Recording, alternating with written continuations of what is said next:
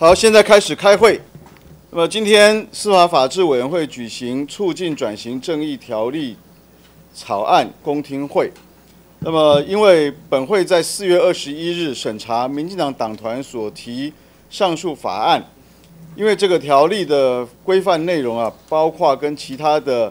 呃法律规范的竞合问题、立法目的，还有促进转型正义委员会的任务、组织、职权。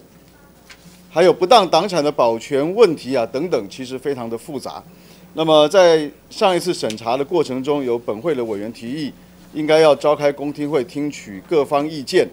那么使让法案在未来审查的时候能够厘清争点哦，能够让问题能够更清楚，让法案的审查可以更顺利。所以司法法制委员会呃计划召开四场的公听会，今天是第一场。我们希望让更多的声音啊，能够在公听会里面呢，能够表达，呃，作为制定法案的参考，让这个条例的规范能够更为周延。我现在先来介绍现在到场的这个由各个党团所推荐的专家学者，跟到会的本会委呃本院的委员，还有这个各机关单位的代表。好，我们首先介绍。邀请出席的专家学者，台湾戒严时期政治受难者关怀协会蔡宽裕荣誉理事长，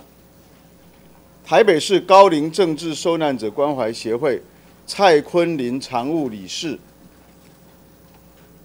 东吴大学政治学系教授兼人文社会学院谢正玉院长，台湾师范大学公民教育与活动领导学系。林家范系主任，谢谢。国家政策研究基金会李训明顾问，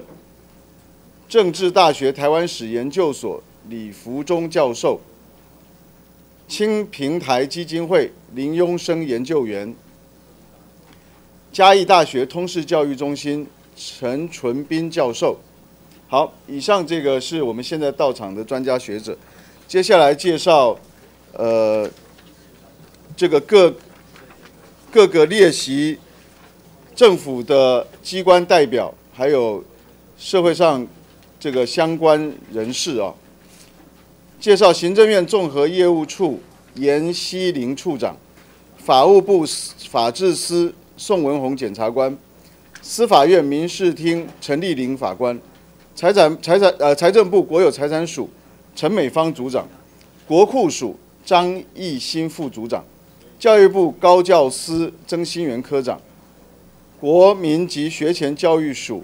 许山荣专门委员，文化部人文及出版司邓美荣专门委员，人事处叶雪梅专门委员，国发会社会发展处张富林专门委员，档案管理局档案征集组许长世副组长，应用服务组专门委员兼副组长石璞。内政部民政司刘立芳专门委员，地政司施明四副司长，总统府第一局蔡梅丽专门委员，国立中正纪念堂管理处林慧芳处长，国家人权博物馆筹备处王义群主任，国史馆何志林副馆长，监察院司法及狱政委员会王增华主任秘书，行政院人事行政总处编组。编编呃主编人力处陈雅玲检任视察，全序部法规司谢银龙检任视察，国防部法律事务司人权保障处军法官陈振龙上校，政务办公室文书档案处资料管理官蔡正守上校，卫福部护理及健康照护司严忠汉专门委员，行政院足迹总处公务预算处。陈信敏专门委员，原住民族委员会钟兴华副主任委员，财产法人二二八事件纪念基金会廖继斌执行长。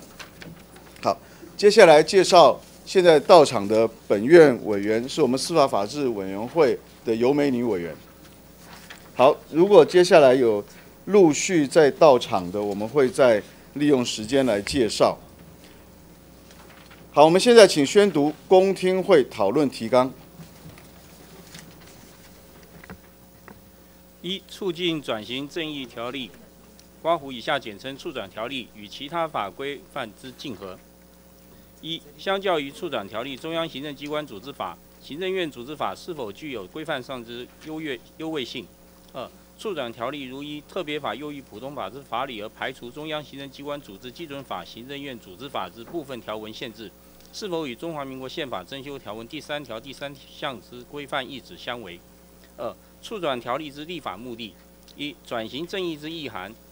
联合国及全球之趋势，南非、南美及德国的经验，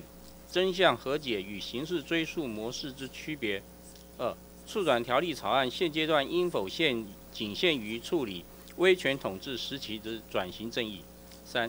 促进转型正义委员会（刮胡以下简称促转会）之任务：一、为何要开放政治档案？与还原白色恐怖真相有何关系？目前政治档案分布状况为何？立法原则为何？二、为何要清除威权象征？为何要保存不义遗址？不义遗址？德国如何面对纳粹希特勒与等威权象征？如何保存及如何设置屠杀纪念馆？西班牙又如何以历史记忆法来清除佛朗哥铜像？其立法经验为何？南美又如何面对此一问题？三、促转会之概括规范事规范事项。其他转型正义事项之可能范畴，原住民转型正义议题之立法建议。四、促转会之组织，促转会委员人事同意权采国会保留之外国立法例。促转会于任务总结报告后有关提案权之立法设计，是否实质上限制或剥夺国会议员在此期间内之相关议案提案限权限？五、促转会促转会之职权。一促转会之职权，诸如通知到场陈述、要求提出资料与物证、勘验调查、委托鉴定、委托办理、卷证资料封存与留置权等问等规定，是否违反比例原则？二、接受调查对象违反配合调查义务，则采取行政罚，是否违反比例原则？三、促请政府机关协助及通知县警机关协助之立法授权必要性。六、不当党场之保全。不当党场禁止处分原则及例外，禁止处分之嘱托登记程序，禁止处分之救济，违反禁止处分之效力等草案规定，是否符合比例原则？其其他问题：一、毁损隐匿义务保存文书物品之行为予以予以入罪化之必要性；未遂犯与过失犯之草案规定是否符合比例原则？二、针对处转会处分之救济。不采诉愿前置原则之法理。宣读完毕。好，在今天这个公听会正式开始之前呢，有几点跟大家做一个说明啊。呃，第一个就是我们会照邀请的学者专家的签到顺序，那么来请各位依序发言。那如果有希望调整顺序的，无论是往前或者往后，麻烦请来跟主席台这边说明啊，我们会适当的这个帮大家来调整时间。那么，因为我我主持公听会啊，这么原则上这个我们不开放呃本院的委员发言啊，除非大家都发言结束了还有时间呢，那么到场的委员我们会请他们看是不是要发言，因为公听会的目的。是在听取在立法院之外的声音呢，那么所以我们希望委员到场能够聆听啊各位专家跟外界的意见。那么本院委员的发言，另外有正式会议的时间可以发言。好，然后我们在呃专家学者发言之后，我们会请这个呃相关的机关跟列席的单位，如果有要回应的话。那么，利用学者专家在第一轮的发言结束之后，那么来这个取得主席台的同意之后，那么会请你发言。每一位列这个专家学者的发言时间，在第一轮是八分钟，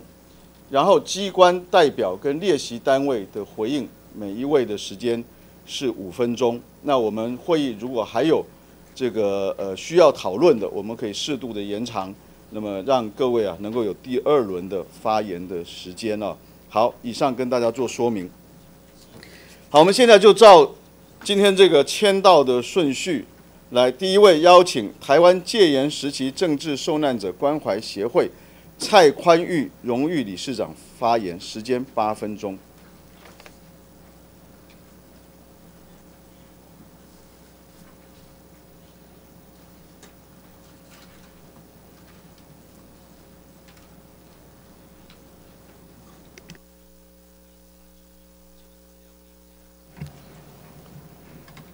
呃，主席，各位先进，大家早安。我是台湾戒严时期这个政治受难者关爱协会蔡宽义。这个我今天这个参参加这个大院的这个转型正义的这个条例草案的公听会啊，呃。在公听会，呃，这个当中，就是有就关于我们政治受案者，哎，所关心的事情，都大部分列在这个四大要项啊。那这个，在我这边，事先声明，我部分这个发言，是不是代表我个人，是代表我们政治受案者这个团体。啊，啊这个一些诉求，啊，那在这边，我们有这个四大任务当中，在我们一般所认知的转型正义是强调一个正是历史的错过错误，追求社会正义，实现疏于的理念理念，同时转型正义也是指。维权统治，这政权在过去统治期间，曾是犯下重大的侵害人权的罪行。经转型民主之后，社会期盼要求国家对对此进行相应的调整和补偿，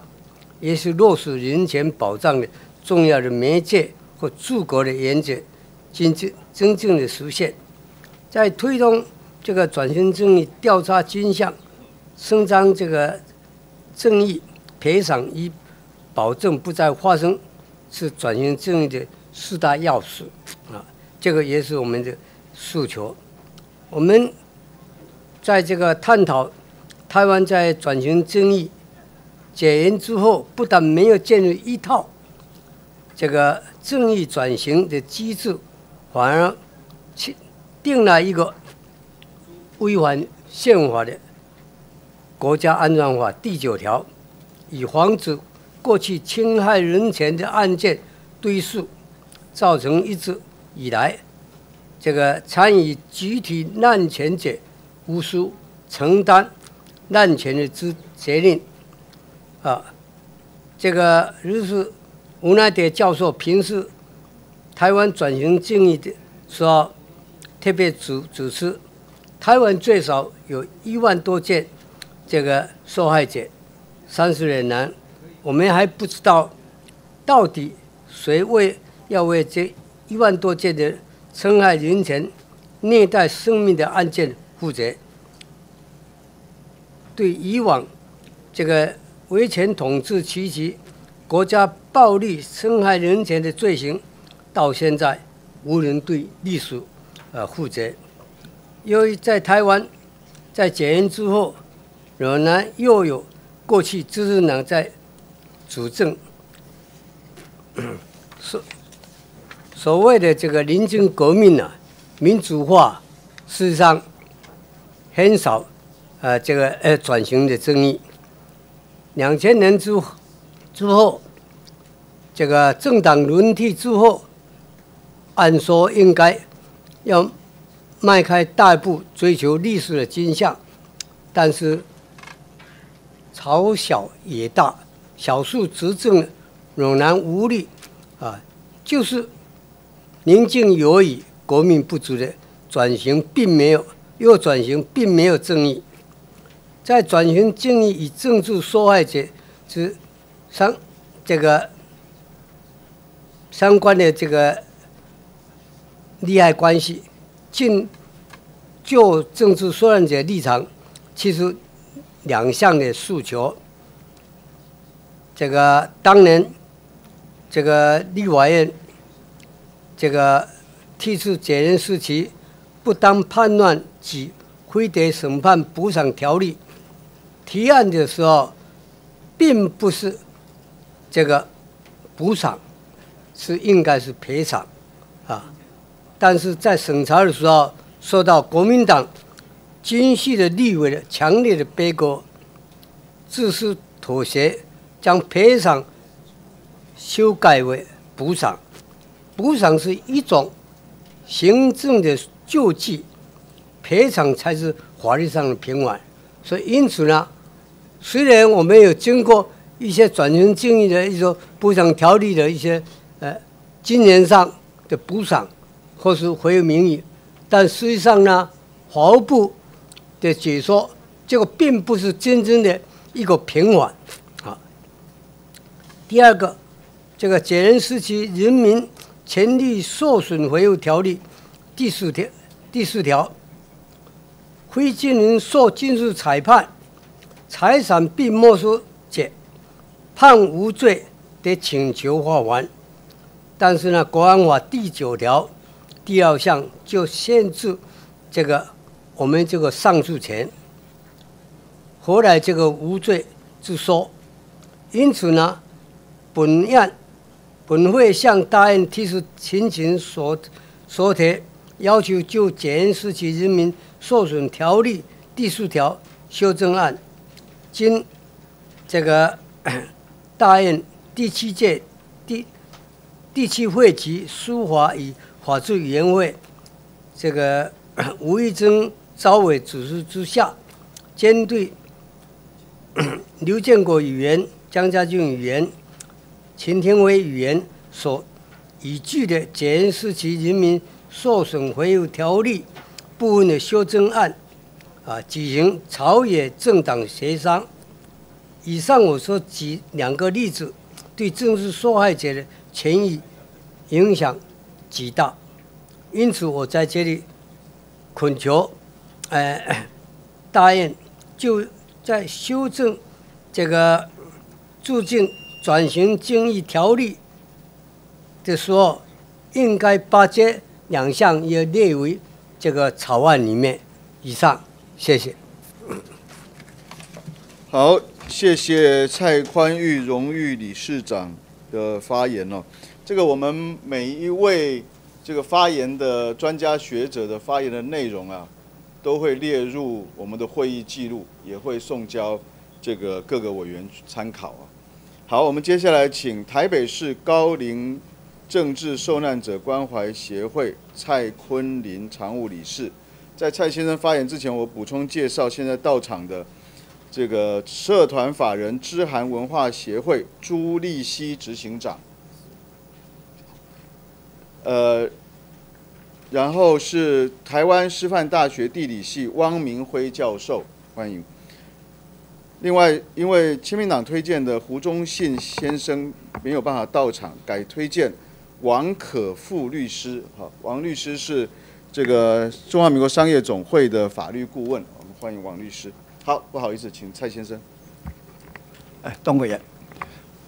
啊，各位贵宾。那我是那个台北高龄这个政治犯这个关怀协会的蔡国林。那么今天看到这个我们呃立法院现在呃提出一个呃要促进转型正义委员会，要设立这个转型正义委员会，而且以这个开放政治档案和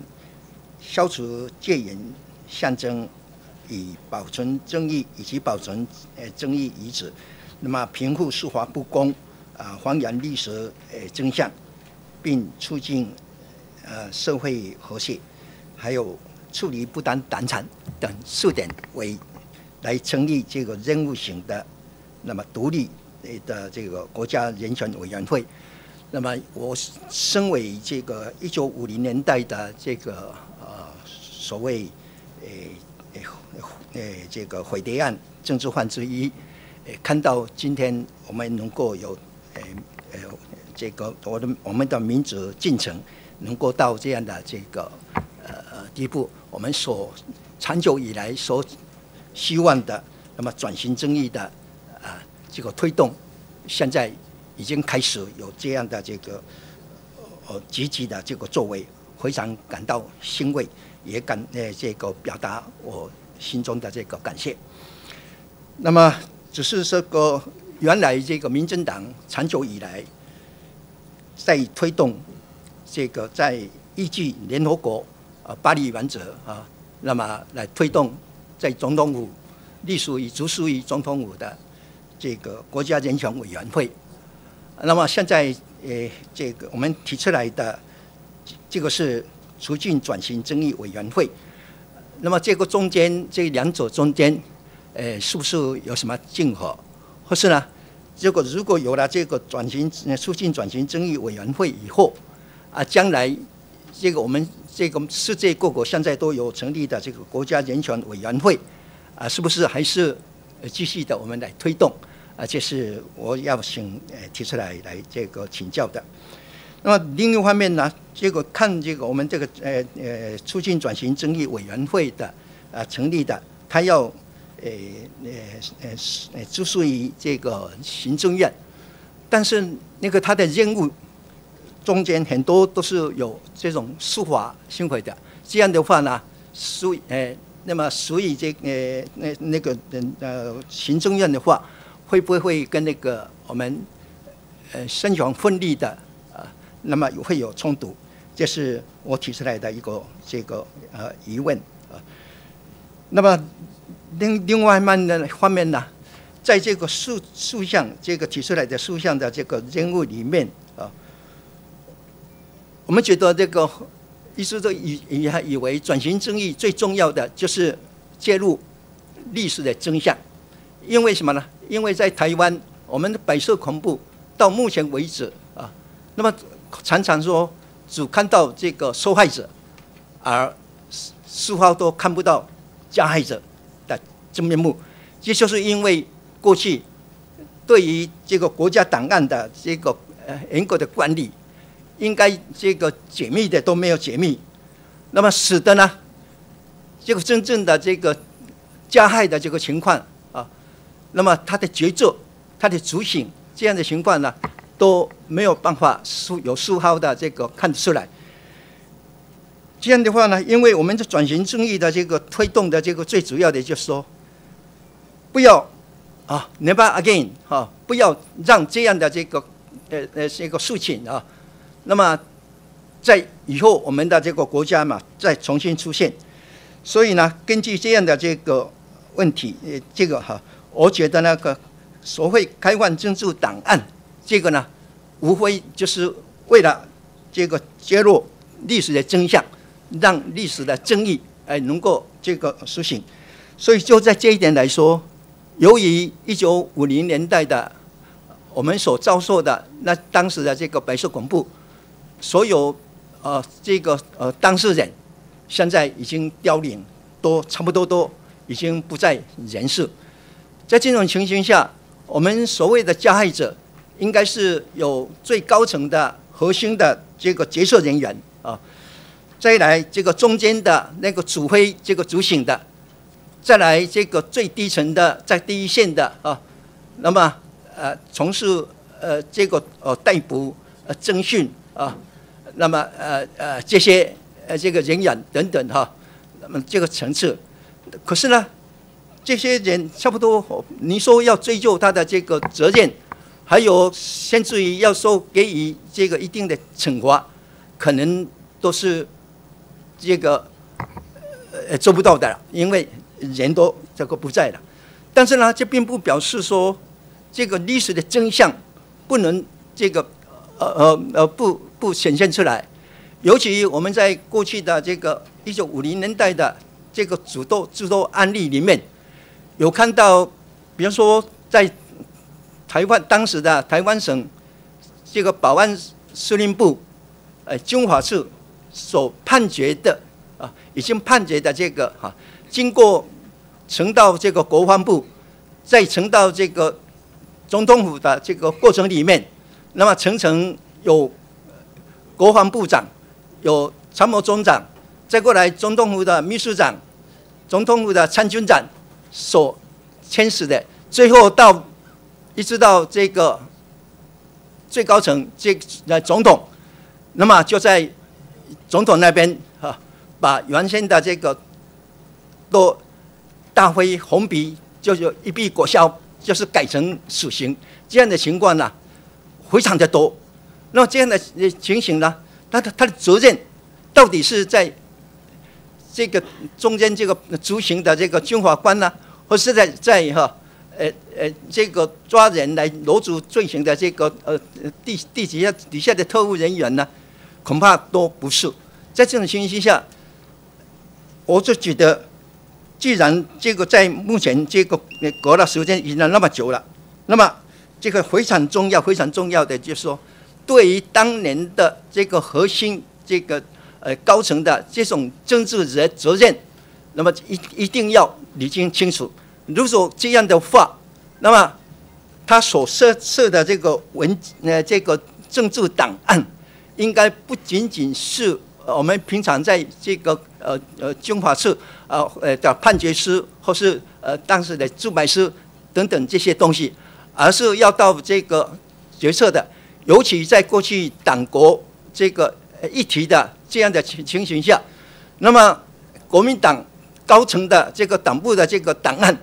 是不是有什么办法啊，能够这个呃呃能够把它这个摊出来摊开来？那么首先是不是可以也认为它是虽然是呃党的一个政党的档案，可以是当做一个呃来这个谢谢。好，谢谢。呃，蔡坤林常务理事哦。那对于这个与会的呃专家学者代表所提出来的疑问呢，主席如果在可以在主席台回答，我就会尽快跟大家说明。但是有的题目恐怕要机关来答复，有的题目呢，可能要这个呃提案的这个设计者啊，可能要要来说明啊，有的并不是主席可以。这个代表来说明的。不过刚才，呃，蔡坤林先生所提到的，这个提醒了我们另外一件事情啊，就是现在在总统府设置那个不是国家人权委员会，它是国家人权咨询委员会啊。我们还没有成立国家人权委员会。那经过了十几年了，那可能是我们要下一个要努力的一个目标。那当然，看在这个今天我们讨论这个，呃，促转会，它是一个。任务性的机关啊，那么跟国家人权委员会的性质并不相同，那之间应该没有竞合的关系。好，我们接下来请第三位东吴大学政治学系教授兼人文社会学院谢正玉院长，时间八分钟。主席段委员，还有尤委员，在座的政府。行政部门的代表，各位学者专家，各位媒体的朋友，大家早。处长会从他的草案来看，涉及的范围非常的广。呃，我们为这样的一个法案的精神呢，怎么样去剔除威权体制留下的不公不义，加以理清，而让国家走向一个长治久安、稳定的民主发展跟巩固的过程呢？我们深感敬佩啊。但是这个法案呢，既然召开了公听会啊，希望社会大众大家把各种意见表达的话，我想那是大家没有任何的顾忌，因为是一个民主社会了哈。我就提到啊，这个当中有没有可能跟现有的法令、跟现有的组织机关产生职权重叠跟冲突的部分呢？如果我们国家的效能、国家的资源有限的话，是回复到。这些已经有的机关好，还是重新把这些机关的相关部门拉出来，放在一个机关里面？我想这是首先立法院要来审视的哈。我个人就直接的说哈，比如说冤狱赔偿法，早在四十八年就有了哈。那到经过很多年的一个修正哈，那国家赔偿法六十九年就有了哈。那另外那个呃所谓的呃二二八处理条例八十七年哈。然后戒严时起不当叛乱暨匪谍审判案件补偿八十七年也就立法了哈。我为什么去查一下这些法案哈？也就是说，台湾作为一个国家的定位走向民主化，一般来讲是说从一九九一年啊，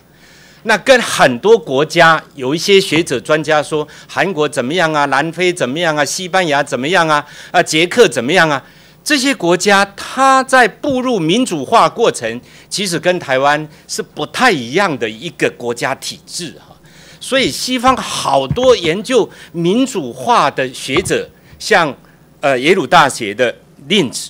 他说台湾啊，既非民主体制，也不是一个威权体制。那像威克勒，他提到了，就是台湾是一个软性威权。也就是说，我们把台湾的问题要放在整个世界史的角度上来看，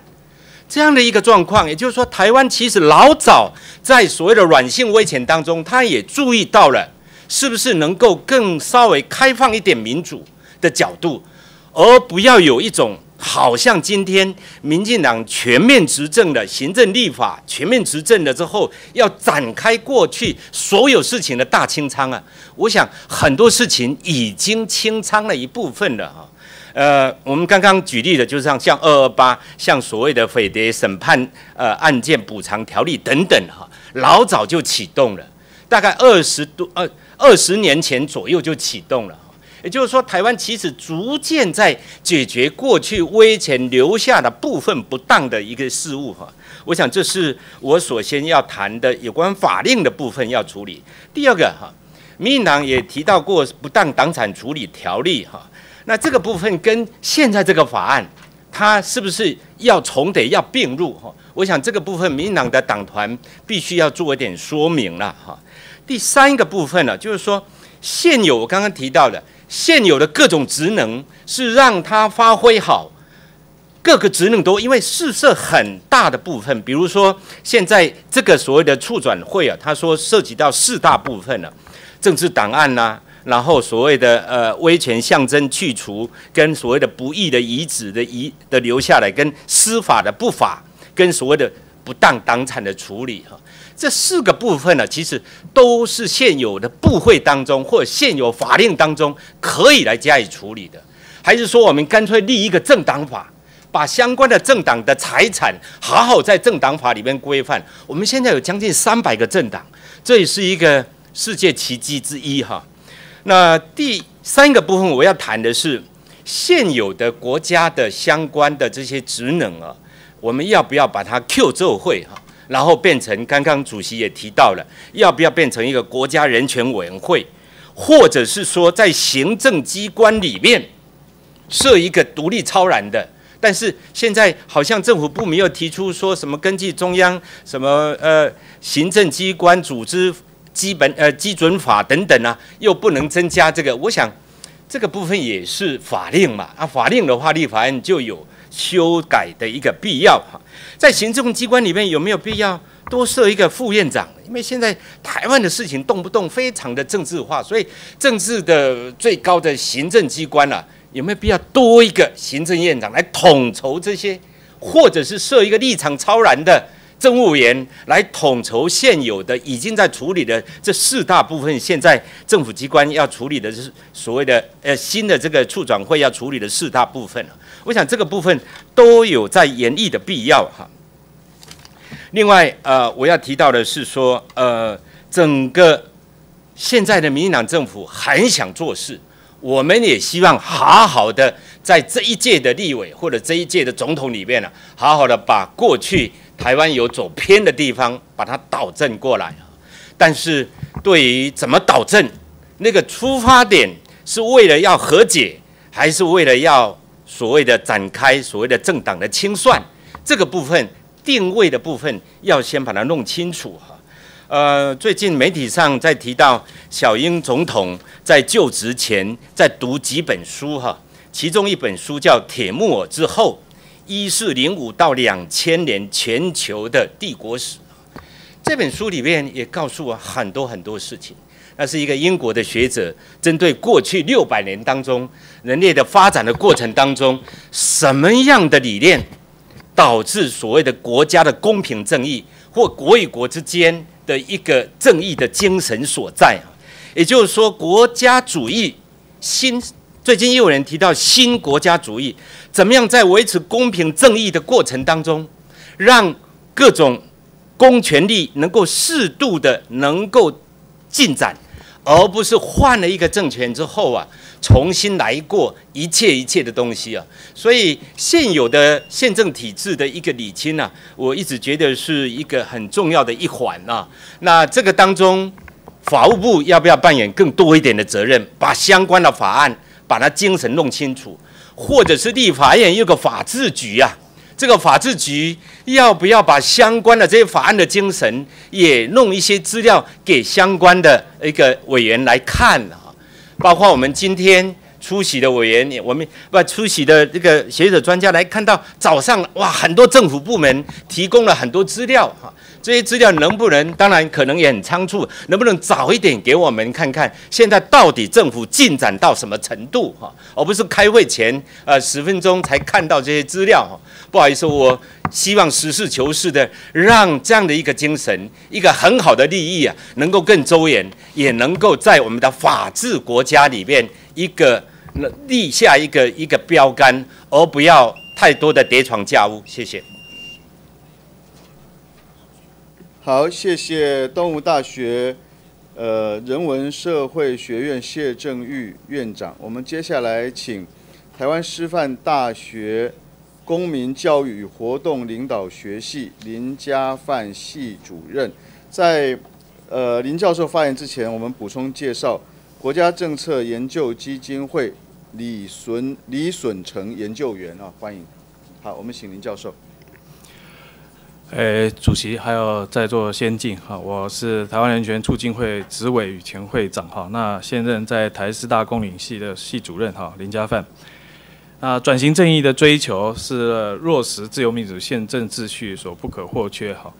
那我觉得两个工作是好最核心的哈，第一个是为了追求正义的哈，那我们必须导正威权政治打压哈所造成的冤案或是迫害。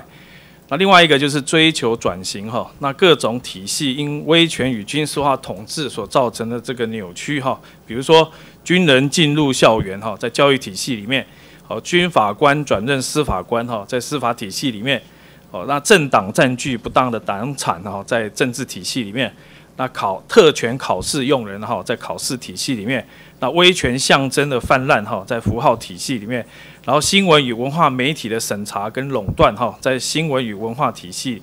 那以中华国族中心主义强压各种族群，哈，那这种族群体系，哈，等等的，哈，并借此汲取教训，哈，使类似的事件，哈，不要再发生。那转型正义并非政治清算，哦，因为其重点非在于斩草除根式的迫害政敌，哈，相反的。其强调以人权为核心的自由民主宪政秩序的确立，而以人权的包容性，好来化解社会的对立与仇恨。那呃，很高很高兴，呃，民进党有或是相关的党团哈，都有提出哈一些哦要做这样的一件事情了哈。那针对我看到的民进党的这个草案哈，我有几点意见哈，有八点意见哈，那陈述如下哈。第一个哈。工作顺序的商榷哈，那追求正义应该优先哈，但正义和转型是哈不分先后的话哦，很担心会牺牲掉正义哈，而丧失道德诉求的政治动能哈。那刚才两位政治受难者前辈哈，那有特别提到哈哦这一个部分，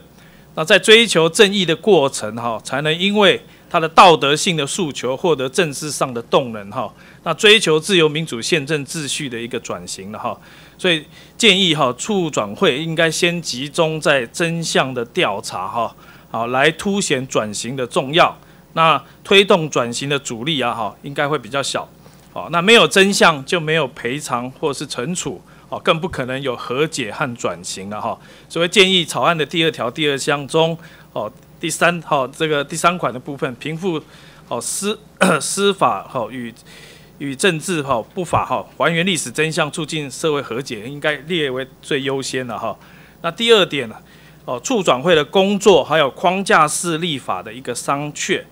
哦，有四点理由哈。第一个就是哦这个立法战线拖得太长哈，一加四个法案哈，这个工程浩大哈，很担心哈哦这样的一个两年哈哦提出一个呃这样的一个整个。呃，促转正义的一个一个完成哈，可能很难哈。那时间拖得太长哦，两年后才提出具体的步骤跟修法建议哈，没有具体案件的调查哈，很担心名气会失掉哈。那第三个就是规划报告欠缺道德诉求哈，不如真相报告。好，那真相报告应该列为是最优先的一个哈。那当然，同时也给好再提出哈相关的一些转型规划的一些意见哈，给相关的机关哈来做一个参考。然后第三点，好，促转会的未接的商榷，好，那现在的规划是位于行政院下面，哈，好，可是，呃，如同前面蔡，哈，蔡 前辈有提到了，哈，这个转型正义涉及到跨院的一个层面，哈，建议应该隶属总统府，哈，那才能提升它的一个影响力了，哈，还有它的一个象征的一个作用。然后第四点的话，哦，欠缺人事制度适任性的一个检讨。哦，草案处理转型正义的四大面向，但欠缺哈人事审查的面向。啊，比如说前面有提到哈，军法官转任哦法官哈，教官转进校园哈，特权考试用人等等的哈。那当然我们这样做哦，重点是在体制价值的宣示哈，而不是在个别人士的一个责任的一个追究了哈。好，我觉得这个面向哦也必须要被哦列进去这个工作项目之一。然后第第五点的话，欠缺哈族群文化压迫的一个平反的一个面向，好威权体制哈是以中华国族中心主义哈强压各种的族群了哈，好如原住民的改名哈，然后禁止日语或是呃河河洛话哈等等的哈，所以会建议草案的第二条第二项哈第五款好建议要增加族群文化压迫的一个平反哈这样的一个工作，然后第六点。哦，增加政治档案的人权教育的使用哈，那哦现有的草案里面哈，它只提到民主法治教育的需要哈，那其实人权教育更是核心了哈，所以建议草案的第四条里面哦要改为哈民主人权法治教育的一个需要哈，然后第七点的话，呃现在在调查是好局限在司法哦不法事件哈，那这样的一个范围好太小。哦，还原并公布司法不法事件哈，过于狭隘。哦，比如说哦，林宅的血案哈，陈文成案等哈，政治案件哈，未能涵盖哈，所以我会建议草案第六条第二项哈，哦，应该加哈，司法后面要加与政治的不法案件哈，列为这一个哈调查的一个范围。然后最后这一点哈，我认为也是最核心最重要哈，应强调真相与和解的一个促成哈。那追究加害人的责任，哈，应鼓励其说出真相，哈，那增加赦免或减刑的措施，好，才能凸显追求真相的和解。所以，草案的第六条第二项，在追究责任的后面，哈，会建议增加，哈，并建立合作真相发掘之减刑，好或赦免的措施。好，以上，谢谢。好，谢谢师范大学林家范系主任。那跟大家做一个，刚才这个谢谢院长，这个我要跟您说明哦。您刚才提到这个民进党党团的党版的这个叫做呃党产不当党产呃处理条例，这这个这个法案没有民进党党版，这个法案哦，民进党没有提出党版，是由委员个别的版本。啊，所以呃，您可能在媒体上看到这个是民进党党版，但是都是委员个别的版本哦，所以这个跟您做说明。好，我们接下来第五位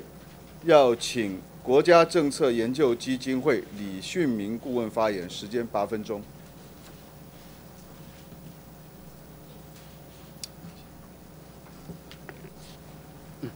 呃，主席、各位委员、各位学者专家，还有各位记者先生们。你们大家好啊，呃，今天我的发言内容内容呢，有记载于大概在二十五页到二十七页之间啊。等一下我会在摘要的再续明，再续明。那那在讲转型正义以前呢，我首先我们要提到一个观念，也就是说呢，当转型正义变成现在是一个显学的时候呢，现一个显学的时候，实际上我们对他提出不同看法的人。可能都是少数人的意见，但即使是少数的意见呢，我还是会本着我的学术上的这个良知，以及行政法上的一些基本权的一些理论，来来作为一个探讨，来作为探讨。那还没进入正题以前呢，我首先也请各位注意一下，就当一个执政党，当一个在野党要完全执政，变成一个执政党以前呢，你首先你就要注意一下，我们这个前面这个社会呢，是不是在十八世纪末、十九世纪初法国大革命的时候，那个时候我们所谓路易十十六的时候，那我们不公不义的这个政党，那实际上很显然并不是。好，我们从一七九一年到一八二一年之间呢，我们注意一下，我们这个雅各宾党，他呢造成了一个恐怖统治，把路易十六送上了这个断头台，当然也也造成了拿拿拿拿破仑这个执政，那个似乎都很有正义，可是事后你看起来完全不正义，完全不正义。当然，我们两百年后我们来看这个情形，那么。在执政党在拿在现在的这个在野党以后变成执政党，在竞选的这个过程，时常想把现在的这个执政党讲成是八十九世纪的这个所谓的这个法国大革命路易十六的政党，很显然是不太好。当然，我们现在回过头来要大规模的来来讲过去的所谓白色恐怖时代的不公不义。可是各位想想。现在的这个执政党是不是已经都正在做了？就跟谢谢教授、谢教授所所讲，已经都在做了，而且已经尽量去做了。台湾这个社会是不是经经得起要这种大翻动、大大反转？OK，当我们习惯于讲这个所谓的南非的经验、西德的经验，甚至韩国的经验，各位不要忘了，在在这个纳粹德国是完全是一个。不同的一个法制，它是完全修改宪法，把他们的什么基本架构给它改掉。南非说实在的，完全是在美国的这个压力下，他呢，他所谓的这个这黑人的这个，他这所谓这些这个白人政罪欺诈黑人的这些宪法完全拿掉。那德国凭他经济的优势呢，他是把他的宪法完全修改。那么我们要单单单纯以这种的所谓的转型正义条例。要百分之百否否定过去执政党的这个历史以及经验，无论好的不好的，其实可能会付出很惨痛的这个代价。好，那我们现在来回归来这个正题啊，我先看一下啊。那基本上我们作为一个法律的行政法以及经济法的这个学者，我第一就会看到它它架大架构到底合不合适，这个大架构到底合不合适。我们看这个转型正义条例，就是说呢，你要有这个作用，把这个作用呢，把过去不公不义、认为不公不义的事情，把它导正过来，本身就是一个什么作用法的性质。好的，那根据我们中央中央机关组织基准法第三条的这规定，就说本法及各机关组织法规外，不得以作用法或其他法规规定机关的这组织，它不能来。他不能不能来来制定，所以说呢，你促转条例，他想要以特别法优于普通法，或者后后法优于前法的话，本身就是不适法，它本身就是不适法。更何况呢，这个又是立法院这个这国会立法这个保留的这这些事项，他呢制定了这个法律给行政来用，做了这个行政上的这个调查权。好，那这个行政上的这些很多这些调查权，那那很多这些准司法权，我们再看看，那宪法我们在第四次修宪的时候，我们已经把宪法的第三条第三项以及第四项，把它讲为国家机关的职权呢，设立程序及总员额得以法律的准则性规定之，还有各机关的组织编制员额应依前项法律，也就是这个基准法呢，基于政策或业务的需要，它来决定之。那所以说呢，那这个第四次修宪，在第五次修宪的时候呢，那也在陈水扁总总统指示下，仍然维持这个基本法的第第三第三条第三项第四项。呃，对不起哦，各位还有记者先生，这稍微有点复杂，但是我们是一个所谓法律上的一个推论。所以说呢，制定基准法呢，是宪法增充条文的授权，是明显的。假如机关组织的设置你违反基准法，我跟你讲这个。这个条例就是违反基准法，当然就是违反了宪法增添条文第三项、第四项的规定。所以说这个大架构其实是一个蛮重要。但我真怀疑，除非说这个大法官脑袋秀逗了，我真怀疑这以后真的强行通过提起视线的时候，大法官会通过。OK，那我们再看看好了啊，我们在国会保留下面呢，我们立法院呢，它呢设置了这个所谓的这个这个委员会，这个委员会要加入这很多的调查。我们不管它它是利益是好是坏，或许是真的要带向我们台湾或中华民国走向转型正义，但是你可以看它这个几个大框架：开放政治档案、清除威权不当象征、贫富不缓不法还原历史真相、处理不当财产，这个四大主轴。而且呢，完全忽略了日本投降后留下来他这个强占民间呃的资产被民间强占的情形，而且时间仅限于民国三十四年到八十年之间，那实际上就是针对国民党的法人的财产，甚至蒋介石负责而来，我们可以直接就可以这样来推论。我想在座个人不会否认吧，对不对？当然，我们可以很巧妙的来规避。这些法律，哎呀，这些这些立法上的抽象性，我们也也可以遵守。但实际上，报告主席，我是有这样的感觉。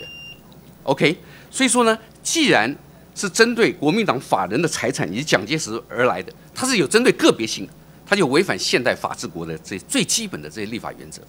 所以这两个大原则下面都有一点问题的话，我们作为一个法治学者，我们从头来看，总觉得这个法案怪怪的，总觉得这个怪怪的。当然不是说怪怪的，意思说台湾现在安居乐业，虽然经济不成长，大家都生活很好，哦，好像不太转型。可是并不是这个意思，而是说呢，总觉得在法律上总觉得说不过去。总，假如说你要走那么激烈的手段的话，其实代价是蛮大的。所以说呢，因为整体上来怪怪的，所以我们再看下层的这个法法令结构。OK，那这边有有一些行政机关的这这些朋友，你们再看一下这下层的这些法法令结构。组织叠床架屋，职权任意扩大，恣意侵害公民财产权，还有准司法权的行政调查权，我只能套句英文讲，is hard to believe，很难想象的。还有呢，迫害权利啊，莫此为甚。所以说呢，完全违背行政法上，OK，我们在下层行政法上比例原则，还有法律明确性的原则，以及立法授权必要性的原则。好，我讲快一点啊，我我我不要像这样教书一样。我我们再看他这个，这是不合法的地方，不合理的这个地方，就跟我们前面有几位谢教授前面所讲的，我们在这个社会六十年来，大家共同努力下，我们已经有戒严时期人民受损条例回复条例，戒严时期不不当叛乱匪谍审判补偿条例，特别是二二八事件处理以及赔偿条例。我每次有外外国朋友来。我都带他到总统府对面去看看二二八的那些纪念碑，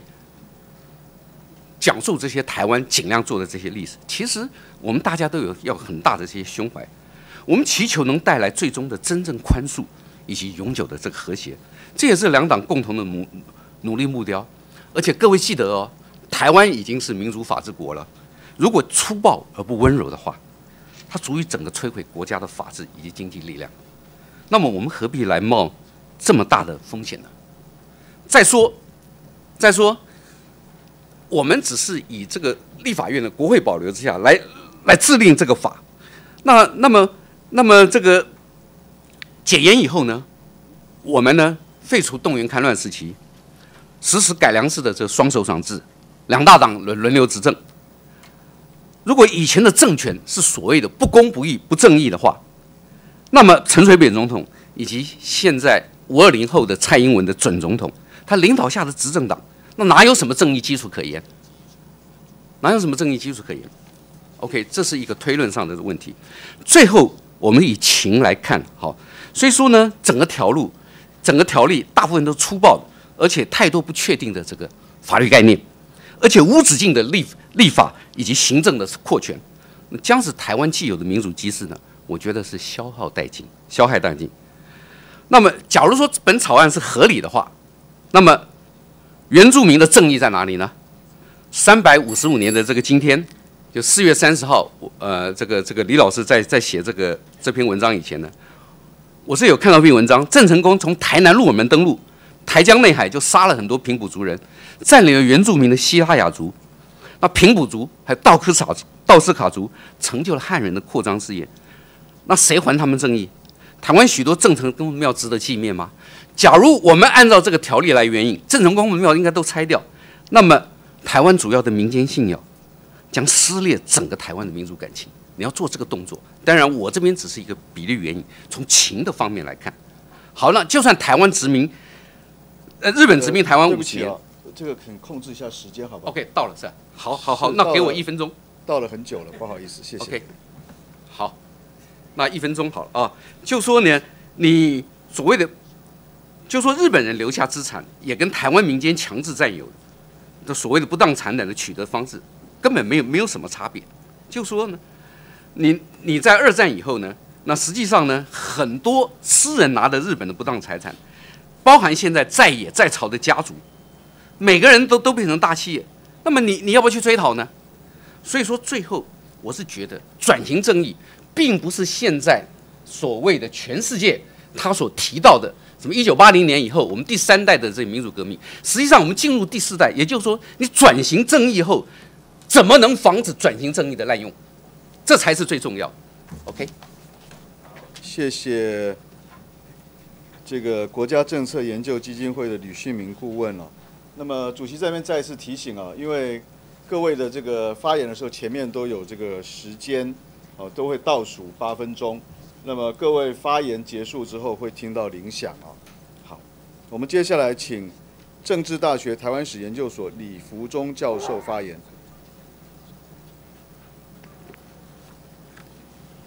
呃，主席啊，在座各位先进，大家好啊。呃，台湾呃民主化二十几年来啊，对于呃揭露历史的真相、平反受害者，还有呃历史记忆的重新的书写、司法的重启调查、追究加害者或者加害团体的责任等等这些方面的工作。那么基本上，要是要不是不作为，不然就是挤牙膏似的啊，消极式的，做多少算多少啊。所以呃，本人很高兴，今天呢，立法院能够有一个框架式的立法，针对转型正义早就该做，但是却迟迟没做的工作啊，来尽一点力量。那么。刚刚当然也有其他的呃与会者啊，认为说台湾的转型正义早就启动了啊。那么台湾的转型正义真的启动过吗？啊？那么我想我们不要忘了，一九八七年快要解严的时候，呃，立法院通过了一个国安法，国安法的第九条，把戒严法本身所具备的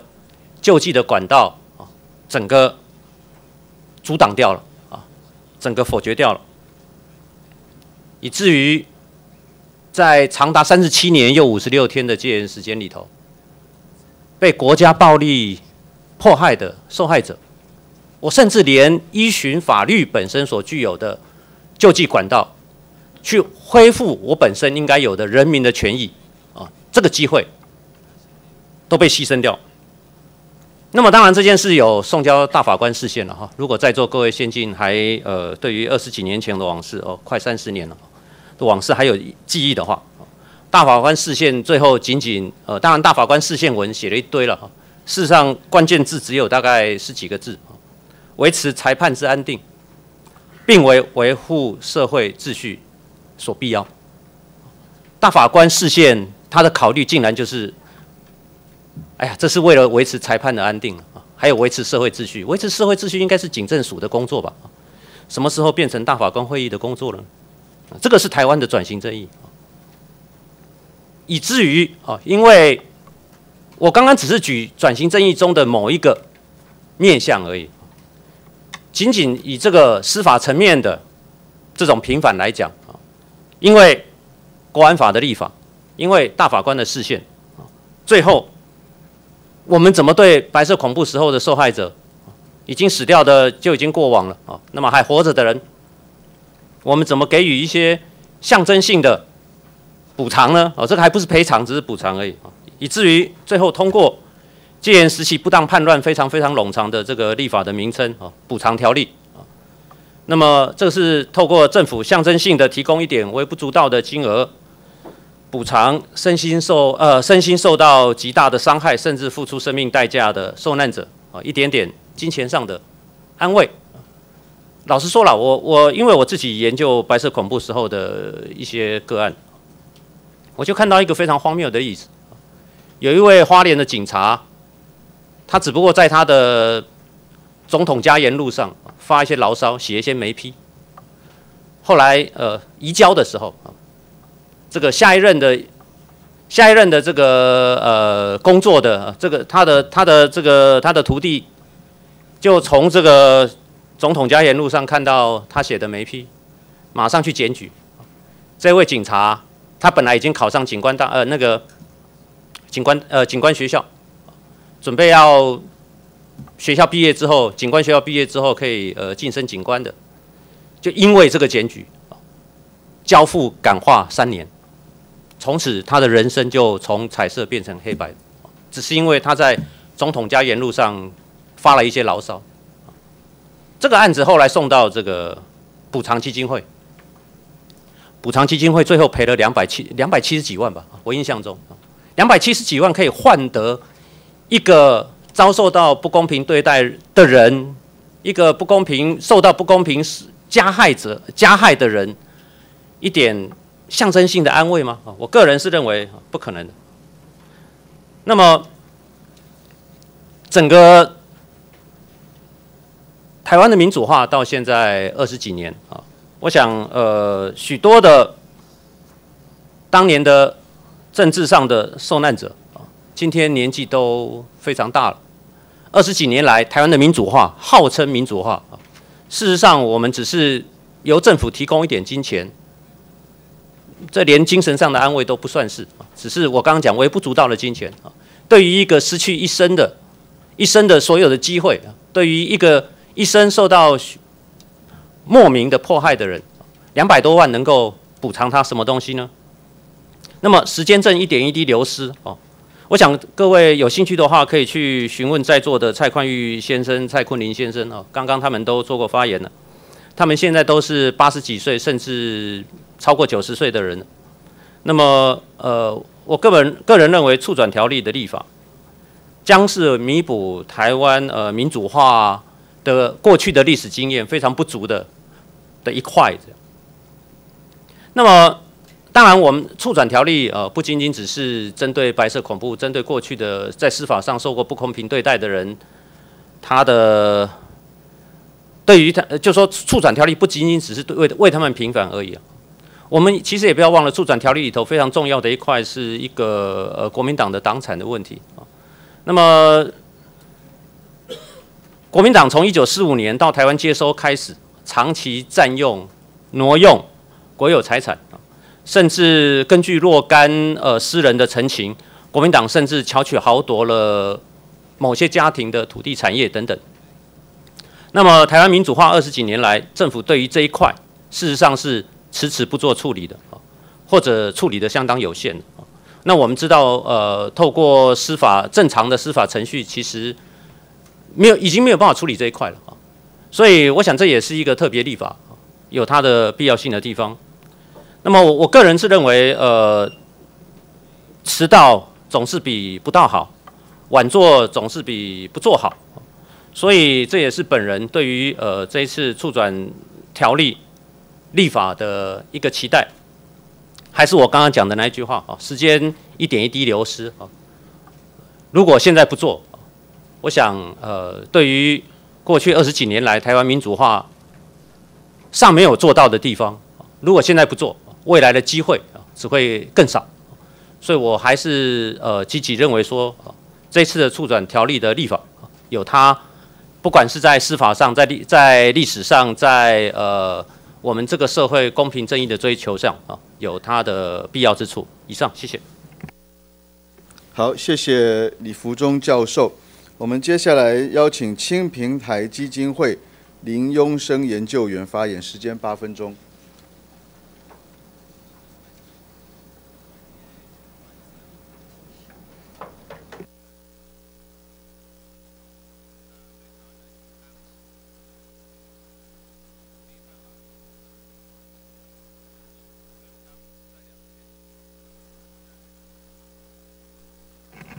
嗯，很感谢今天那个立法院那个司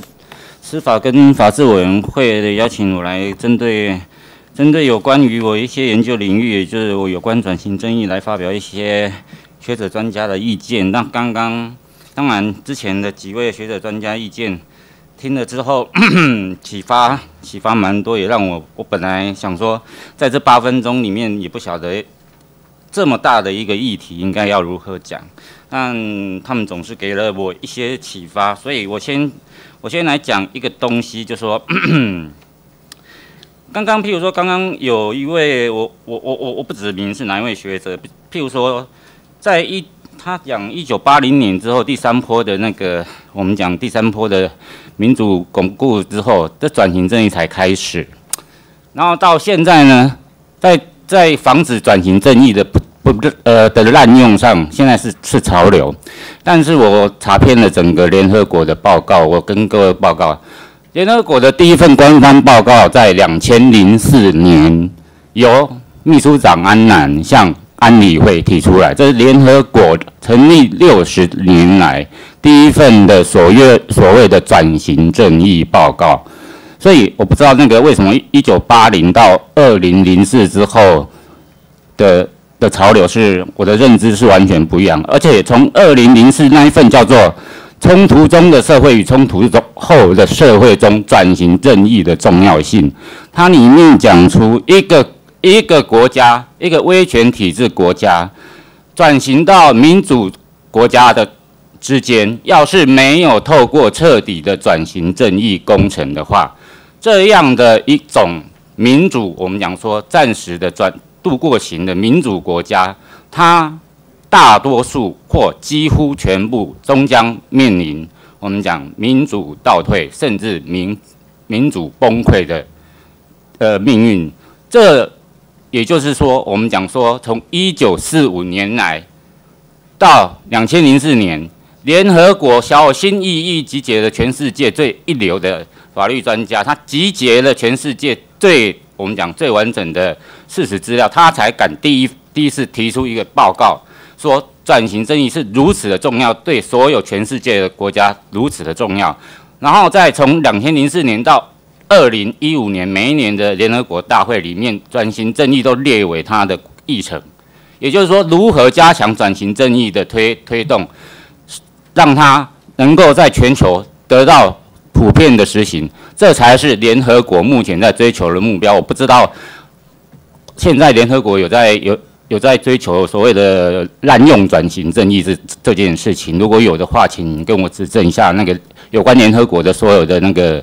大会记录，或者说他的各个各个委员会小会那个记录，我都很乐意的跟你回答。然后再来呢，我要讲的另外一个是说。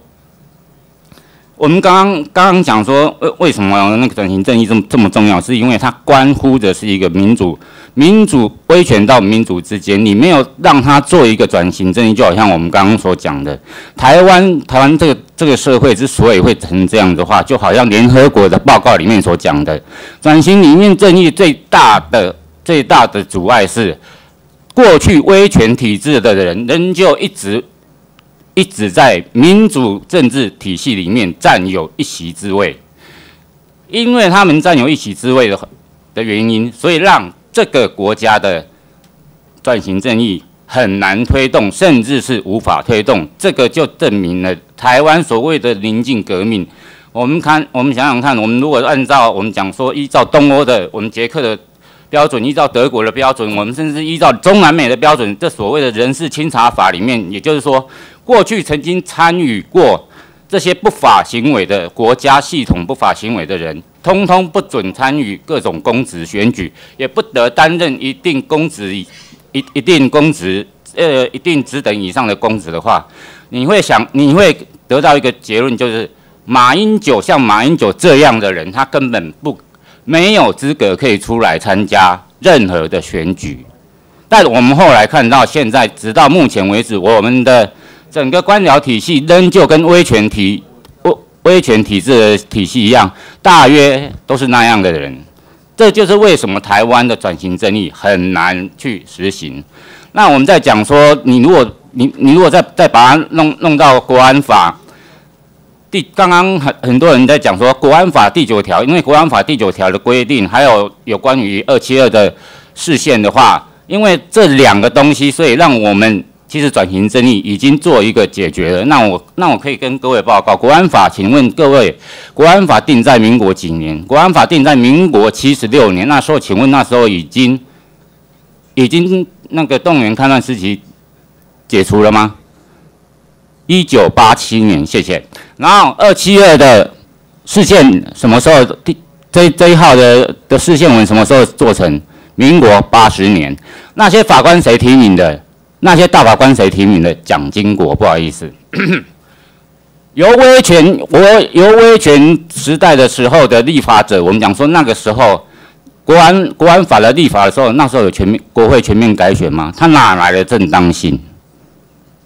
他是。我们讲那完全没有正当性。那由一个我们讲说，就是我们的清最主要的清算者所提名的大法官所做出来的视线文，这样的视线文有任何公信力吗？那那个其实，在在我们讲说联合国的定位里面，那个就是所谓的赦免法。赦免法的意思就是说，他们那个叫做视而不见的法律。联合国我们讲说，在一九九八年的罗马公约。我们也就是国际刑事法院公约之后，他已经讲了有关于危害人类罪、危害人道罪是永远不得适用所谓的赦免，赦免永远不适用于这些人。那再来呢？我们讲，你如果你有一些人可能又想到，那我们现在追溯时效怎么？这个我我我是请他们，可能台湾一直想要跟国际接轨，但是台湾其实跟国际其实距离很远，因为台湾。目光如豆，台湾的学者目光如豆。他们如果知道一九六八年就已经有针对于危害人、危害危害人道的那个一九六八年的无时效适用公的的公约，一九七四年再一次欧洲又定了一个公约，两千零五年针对财产，他他再一次确认无时效认无时效的适用的时候，你就发现没有什么时效的限制的问题。有时效限制的问题，其实是在台湾，它根本自绝于国际秩序之外，国际的法治秩序之外，所以台湾才会创下，才会转型正义，才会一直到现在才进行。那进行这里面，我讲说，因为本人也稍微参与的这整个法案，稍微有有有一点参与，我感我讲说，这个整个法案里面，所有的条所有的条文，绝对都经得起宪法的考验。我不知道。违宪从何而来？譬如说第三，呃，宪法征修条文第三条第三项那边，那里只是说它得以准则性的规定，那并不是，并不代表它是完全禁止性的规定。那我我想有关于这种独立机关的运用，独立机关的设置，以后在我们生计发展的时候，以后在我们很多地方很多未来发生事情。要要必须要处理的时候，这样的独立机关的的建制，绝对是未来世界的潮流。就好像德国在一九九零年就已经把这个理论问题全部解决完。我不是我是不知道为什么台湾一直到一九九零年，我们讲上世上个世纪人家已经视为没有问题的东西，我们在这个我们在这个世纪的今天，还在为这种事情在在争执，甚至在质疑。这这是我的一点小小的看法。如果等一下有时间的话，我愿意做更深入的一些介绍。谢谢。好，谢谢青平台基金会林庸生呃研究员。我们接下来补充介绍刚才到场的民传大学公共事务系季俊成教授。好，我们接下来要邀请嘉义大学第八位是嘉义大学通识教育中心陈纯斌教授发言。呃，主席、各位呃先进啊，各位贵宾，大家好。那因为时间非常有限啊，我就用比较快的速度啊啊谈一点个人浅见。那因为个人学的是政治啊，所以我想可能从比较政治的角度来啊谈这个问题。那我想从三个角度去看啊，就是第一个从转型正义设置条例的一个急迫性跟必要性来看。那么转型正义呢，基本上比较没有一个明确的定义啊，一般指的是新兴民主国家如何处理他以前政府所留下来的啊种种侵犯人权、集体暴力以及其他形式的啊巨大社会的创伤啊，试图建立一个比较民主、正义、和平的社会。那个人今天呢，不打算从学术的角度来探讨什么叫转型正义。那么，当一个社会需要转型的时候呢，代表以往有很多不公不义的事情才需要转变。那么，因此，一个社会有众多不公不义的事项，包括经济的、社会的、宗教的、种族的、政治的各种类别。然而，令人感到好奇的是，为什么只有选择以上这四项？尤其是威权的象征，为什么需要清楚？那么，什么叫做不义的遗址？不义的遗址为什么需要清楚？那么威权时代所留下的种种象征，对我们的生活到底造成何种不便？否则为什么要清除？如果有司法不公，为什么需要另外设置一个组织去平反，而不是由一个司法本身去解决？那么促进转型委员会呢？当它被立法院所通过以后，是否可以做他所想要做的任何一件事？到处界定哪里是威权时代所遗留下来的不当象征？各位想一想，当我们平复了所谓司法不公、还原了历史真相以后，是真的促进了社会和谐了吗？还是引起更多的社会及政党之间的冲突跟纷争？这些后果都是各位委员在通过这项法律以后必须深思熟虑的。那么，另外呢，就是让人感到好奇的是。台湾面对对岸的文攻武赫以及种种红色供应链的崛起，台湾面对的全球化以及中国竞争的无与伦比，台湾难道没有更重要的事情急需要去转型吗？台湾需要此时此刻进行所谓的转型正义的吗？第二，从委员会组织法以及职权的合法性跟合宪性问题，基本上依照中央行政机关基准法的规定。一个委员会的设置呢，基本上必须要以组织办法的方式去设置。那另外呢，在根据这个中央基准法的规定呢，行政院下设的啊基本的行政机关呢啊已经有三个独立的机关了，所以呢，处转会的这样的一个设立，基本上它并不是以一个组织法的方式去设立的。第二个呢，它独立的已经设立了三个独立机关以外的一个叫做非常设性的机关。如果处转会的是一个非常设性的机关，是一个任务型的编制，那么从它的职权来看，不仅拥有强制的调查权，甚至可以进行财法的公权力，还可以禁止政党进行财产移转的处分。这种具有独立权限的机关组织。我想不能以单纯的任务编组来视之，尤其是依照啊这个呃任务编组的这个处转条例第十一条第一项的规定，如果这个组织它的这个存续期间是两年，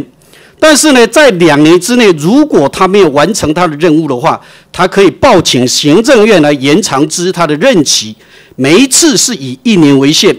但是呢我们又没有限制它延长的次数。也就是说，促转会未能在期限完成它的任务的时候，它可以无止境的延长哦，所以它不是一个实质的常设机关吗？最后，个人想对于不当党产的名称的可接受性啊，提出个人一点浅见。我想外界对于所谓的不当党产的处理，大体上不会有太多的意见。所谓的“意”是填供的那个意见跟旨意。所担忧的是，名称为什么取得这么高度的价值判断，让人不堪，尤其具有针对性。法案不是应该针对一视同仁做共同的规范吗？如一些先进学者所言，台湾实在是太伪善了。明明就是针对国民党党产来开开刀，为什么名称不直接叫做《国民党不当党产处理条例》呢？最后。个人认为，如何协商出任彼此不满意但是可以接受的立法方案非常的重要。立法院虽然通过了许多的法案，固然有其合法性，但是可能却面临未来合宪性的问题。这些都是各位睿智的委员必须深思熟虑的。个人的浅见，法案的制定不是纯粹的法律问题，反而是有其高度政治性的问题。尤其像不当党产的处理，更具有高度的政治性、政治性跟争议性。固然，目前政治性的议题，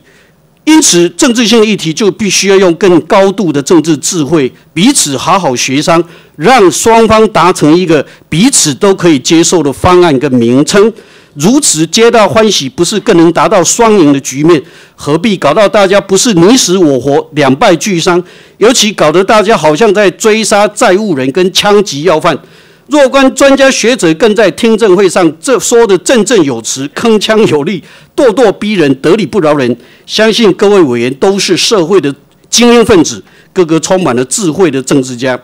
我想。朝野能够共同合作、良性竞争，才是相信才是国家之福、人民之幸，也是国人共同的期盼。希望各位委员都能够保持大是大非、宽大的胸襟来处理这一个棘手的问题。最后，我们要深切的呼吁：朝野之间绝对不是零和的游戏。面对全球化跟对岸的激烈竞争，我们实在没有内耗的本钱。唯有朝野真心合作，才是国家之福、人民之幸。外界对于所谓的转型并没有太多的意见，只是为什么会选择这四项，啊，令人感到好奇。以上肤浅的学者不成熟的发言，还请教各位先进指教，谢谢。好，谢谢嘉义大学陈纯斌教授。我们接下来补充介绍到场的委员，有司法法制委员会另外一位召集委员林维洲委员。还有本院的王定宇委员哦，都到场。好，我们接下来要邀请社团法人知韩文化协会朱立熙执行长。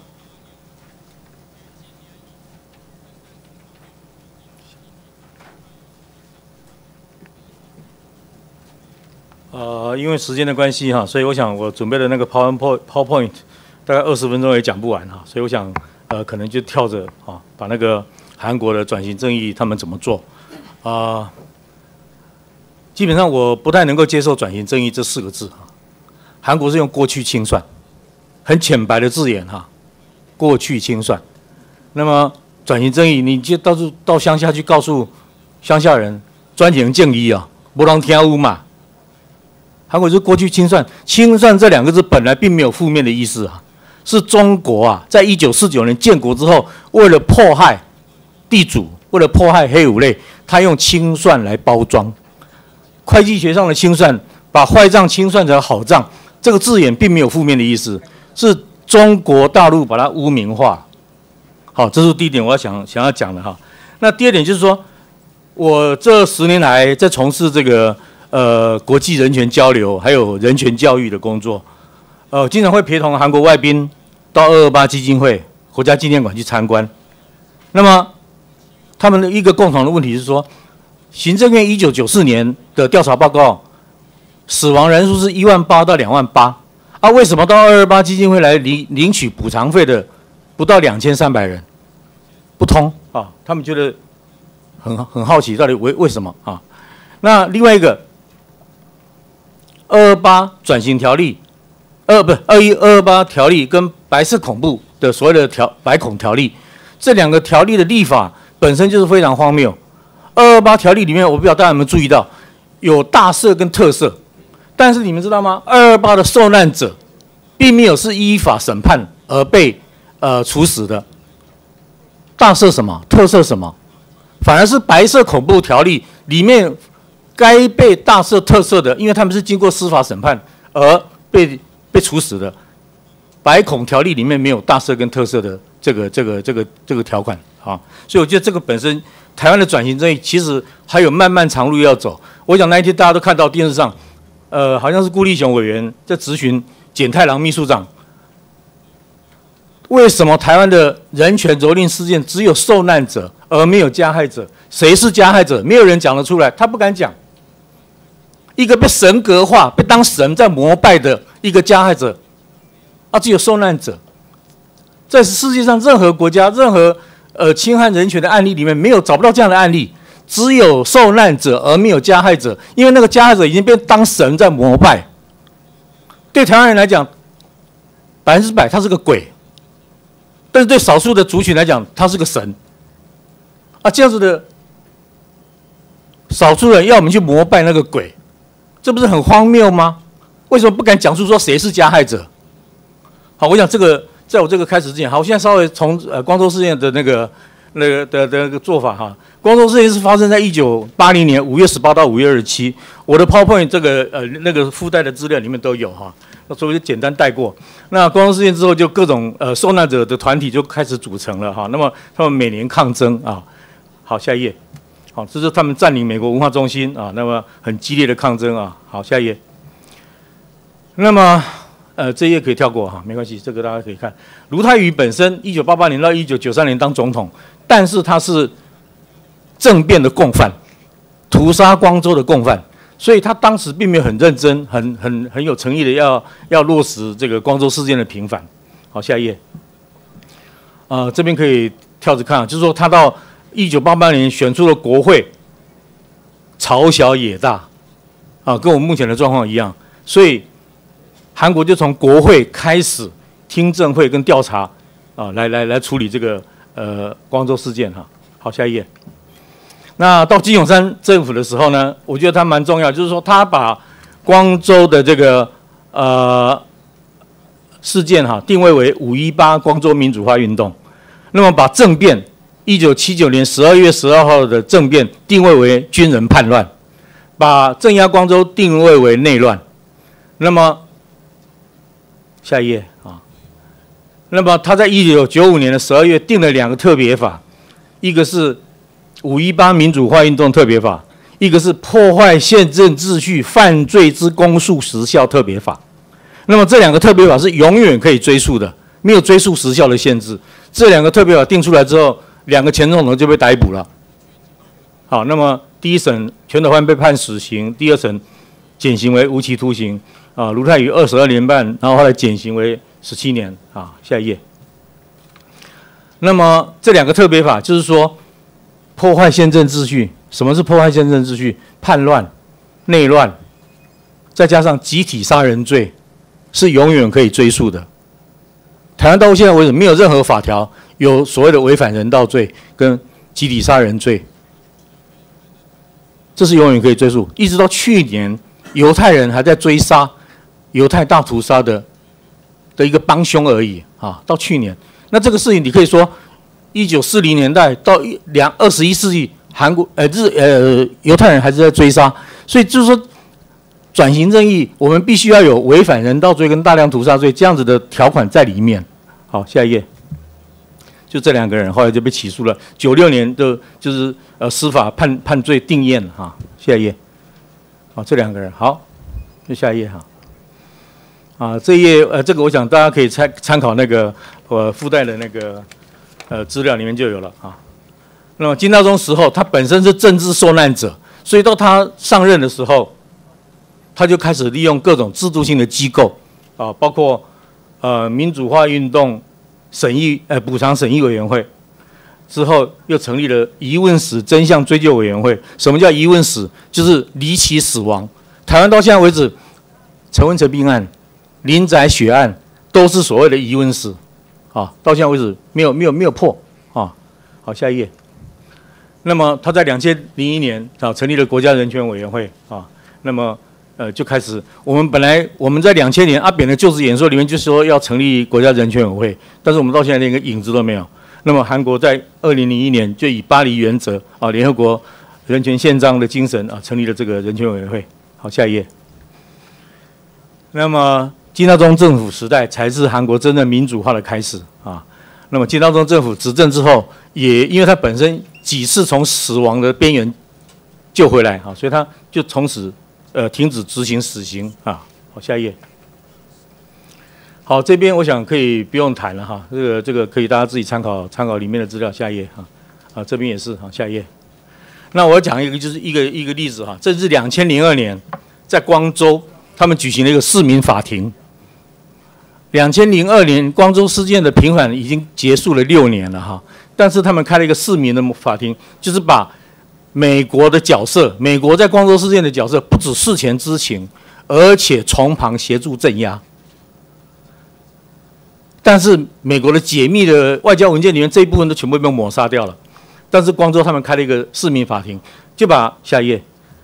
就把美国总从美国总统卡特啊副副国务卿呃驻韩美军呃驻韩美国大使驻韩美军司令啊这些八个人起诉，他们的罪名是内乱及内乱阴谋杀人罪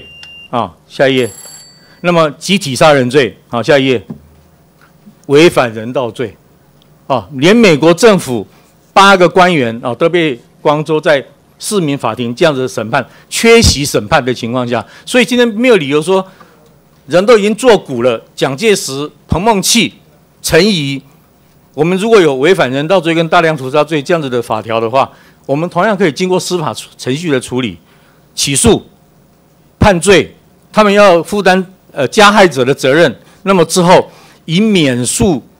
判决。好，来结案，免诉判决。好，所以这个是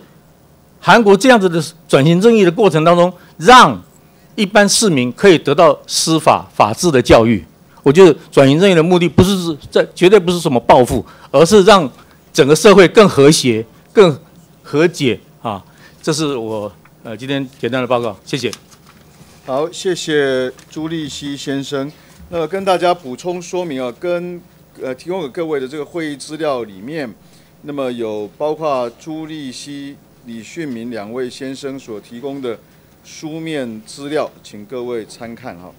好，我们接下来第十哦，我们来补充介绍现在到场的委员哦。这个本会的林德福委员哦，刚才本会的张宏禄委员也到场。好，我们接下来介绍，请台湾师范大学地理学系。汪明辉教授发言。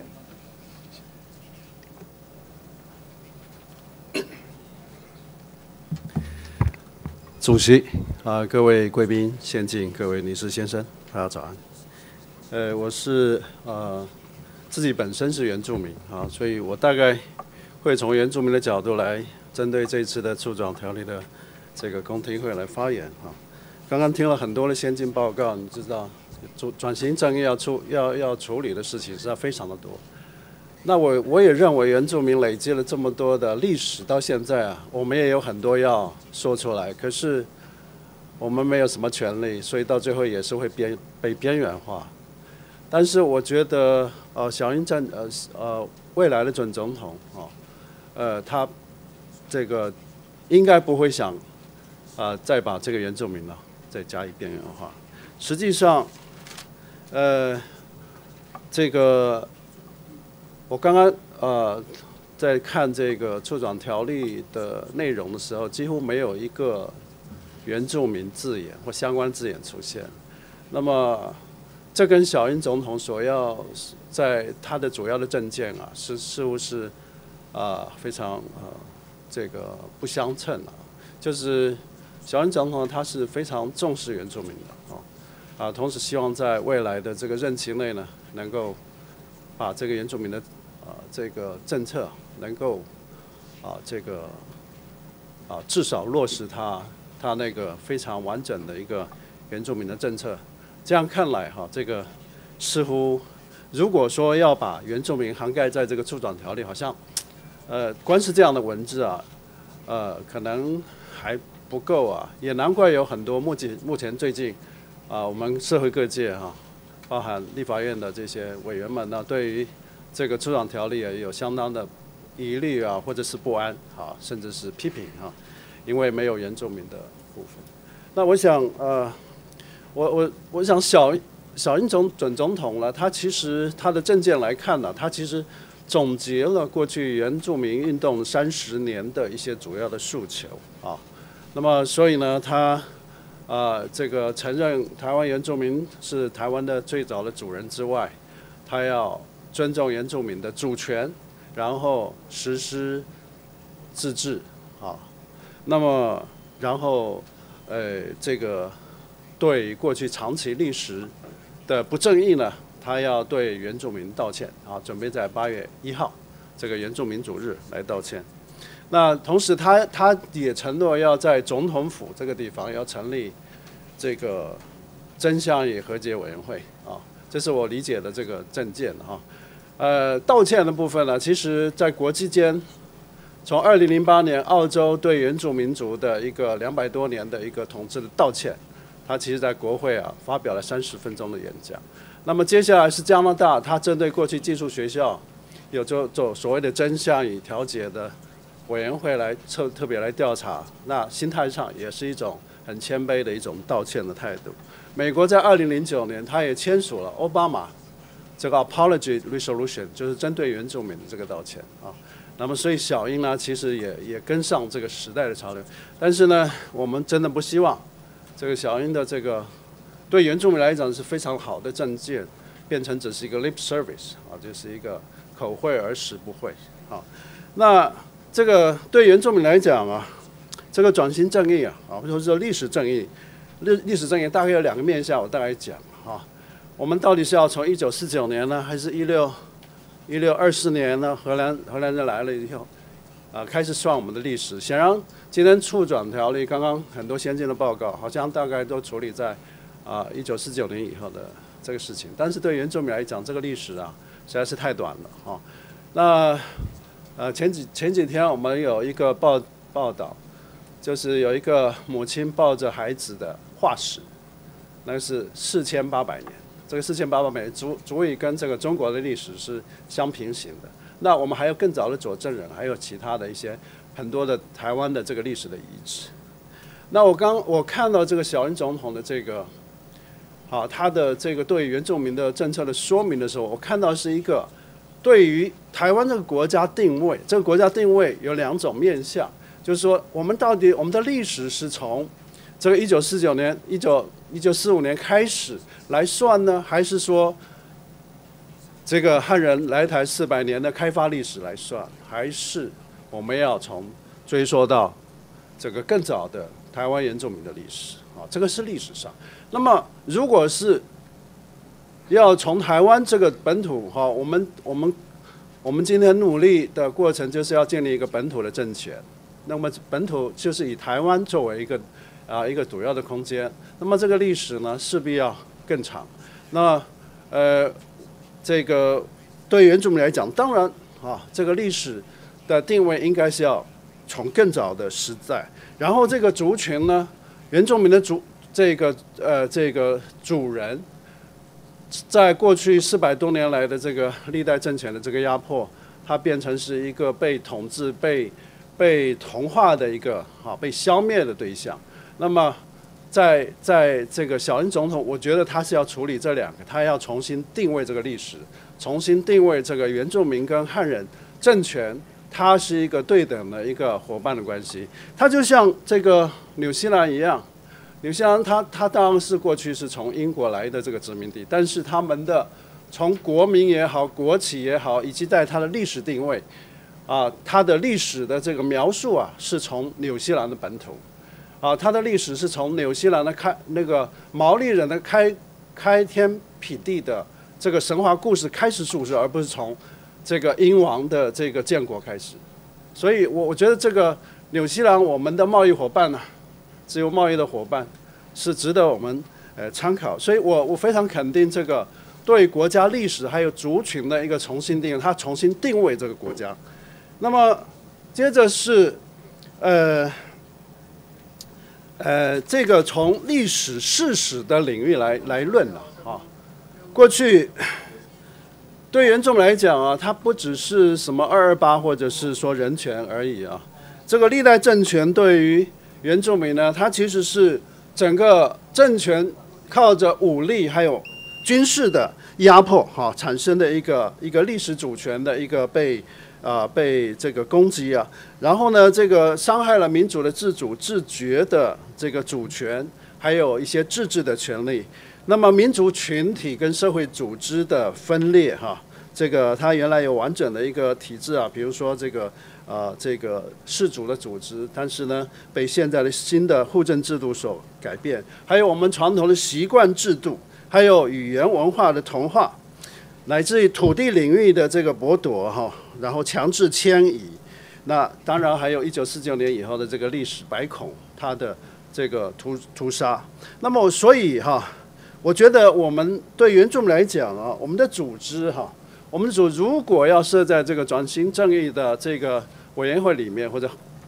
实在是不够啊，它的历史时间也不够，它的它的这个领域的范畴也都不够，不够我们装，所以我觉得可能要思考是不是在总统府这边呢？啊，这个在真真正成立，把这个原住民族呢可以独立出来，他但是呢，他可能会没有实权的这样的一个限制哈，所以我觉得这个可能要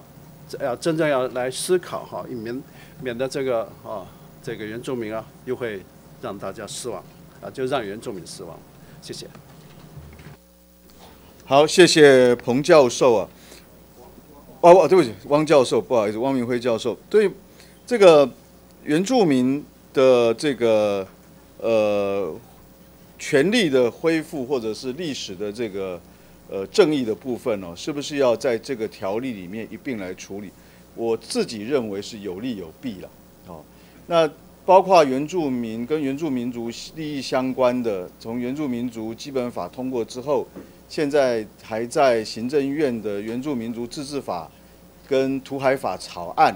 那么到现在也还没有能够完成了，等等这些，恐怕都是我们必须要花力气来处理的。这个我同意您的这个这个这个呃推动好，那么我们基本上处理这个条例啊，是用戒慎恐惧的态度，他因为。到底界限要画在哪里？到底包括时间，包括我们处理的范围，这其实都是非常、非常坦白讲，是很不容易做决定的，所以要听大家的意见。好，我们接下来第十一位是请呃邀请这个王可富律师。王律师，这个慢慢走没关系。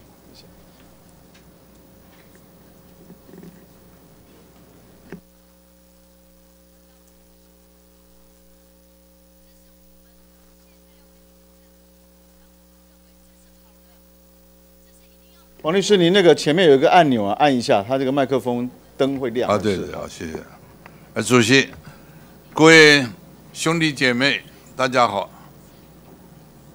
今天我代表胡忠兴先生来跟各位报告两件事，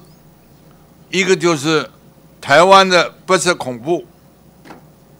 台湾的中国国民党的党产的问题。第一。这个，据我了解，因为我在台湾呢，等了六十多年了，我今年已经九十岁了。我不像马英九说，跟你们吹牛说我是台湾人，死也变成台湾鬼，我不是，我是中国人，我在台湾的中国人，没有错。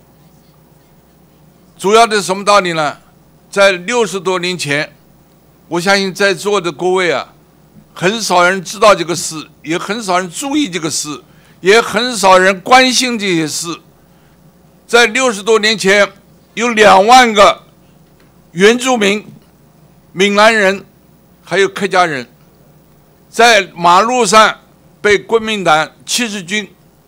拉夫拉到大陆打共匪，死在大陆一万五千名。另外两千五百名送到朝鲜抗美援朝，另外的两千五百名在两两岸通通航以后回到台湾。那国民党当局还认为部分还是共产党，所以把他们起诉。我义务的，我所谓叫做 Cuban Rights Attorney，我是专门做人权的。不要一块钱，为他们打官司。现在呢，就有近两万名呢，这个台湾人呢，真正的台湾人呢，没有四十年没拿到薪水，也没有拿到暂时收田证。暂时收田证，从大陆来的老兵，他们有暂时收田证，他们也是游民，住的游民之家。而台真正的台湾人为中华民国打战的，背枪打战的，结果到为了我们争取权利，竟然说行政法院竟然判他们没有这个不是军人。请问，背着枪到台前线被你拉夫拉拉到大陆去打仗的，都不是军人；而在国防部吹冷气的，没有上过战场的，那是军人。公平吗？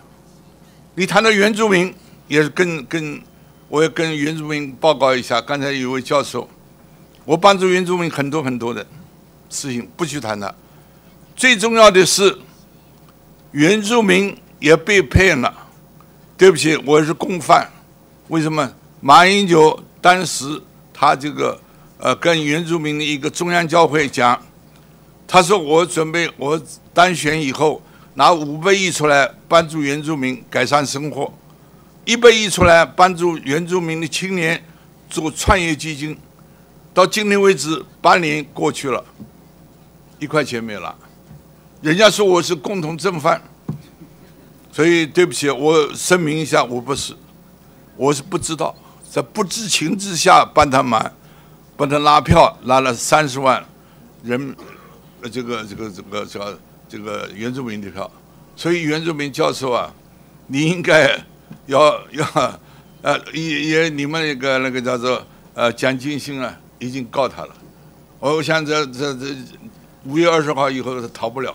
我们已经在告他了。好，这个这个暂且不谈。现在谈为什么要告党产？我代表胡忠信来的。为什么要党党产呢？据我了解，八十九年的时候，这个呃刘太英，国民党大掌柜，他说国民党的党产有两千亿。在同年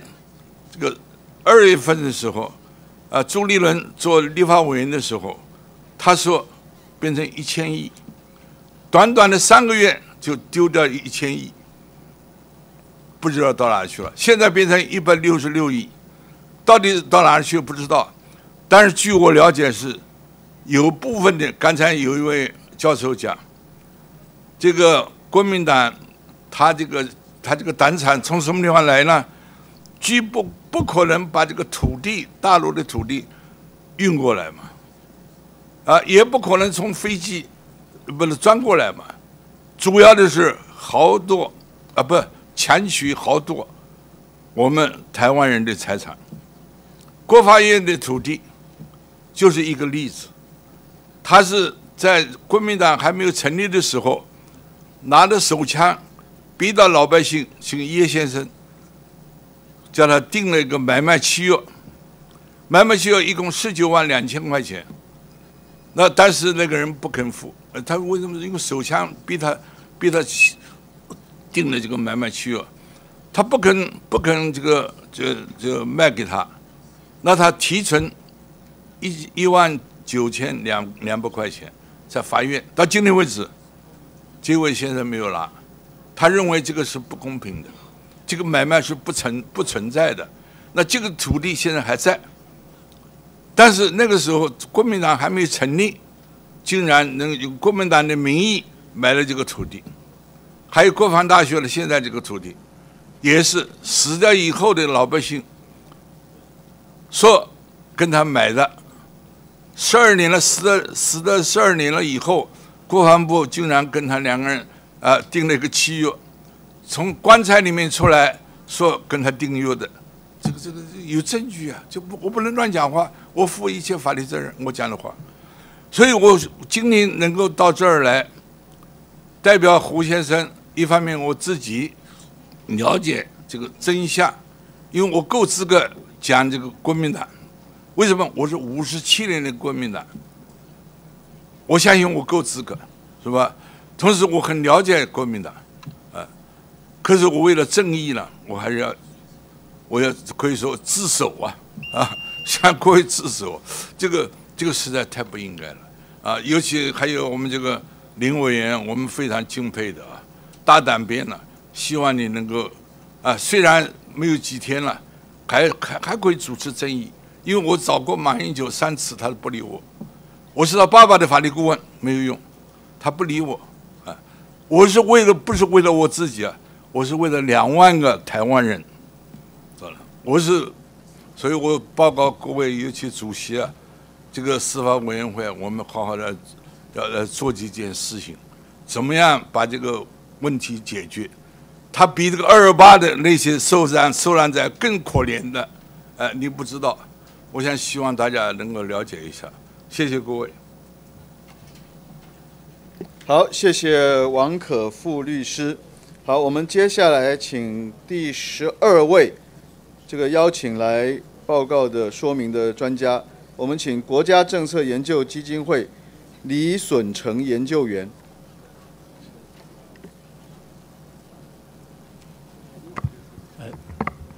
呃，主席，呃，各位先进，大家好。有时间有有限，我就很快的进入正题。因为刚刚刚有有先进有提到说，呃，清算这个字是呃之前并不存在，是二十大案之后才有。事实上，在法国大革命的时候就已经有了啊，他把贵族给的呃所有的明显全部取消，财产全部都充公了啊，所以那个时候就已经呃开始进行呃相关的清算。所所以也就是因为这样，所以法国对于清算这事情一直都非常做非都非常仔细，因为它不只是呃呃追求正义而已，它实际上更是撕裂了很多人啊，更是呃更更是导致。致了很多呃不和谐的因呃那个社会上的冲突因素，因此在一九四五年啊，就法法国呃这个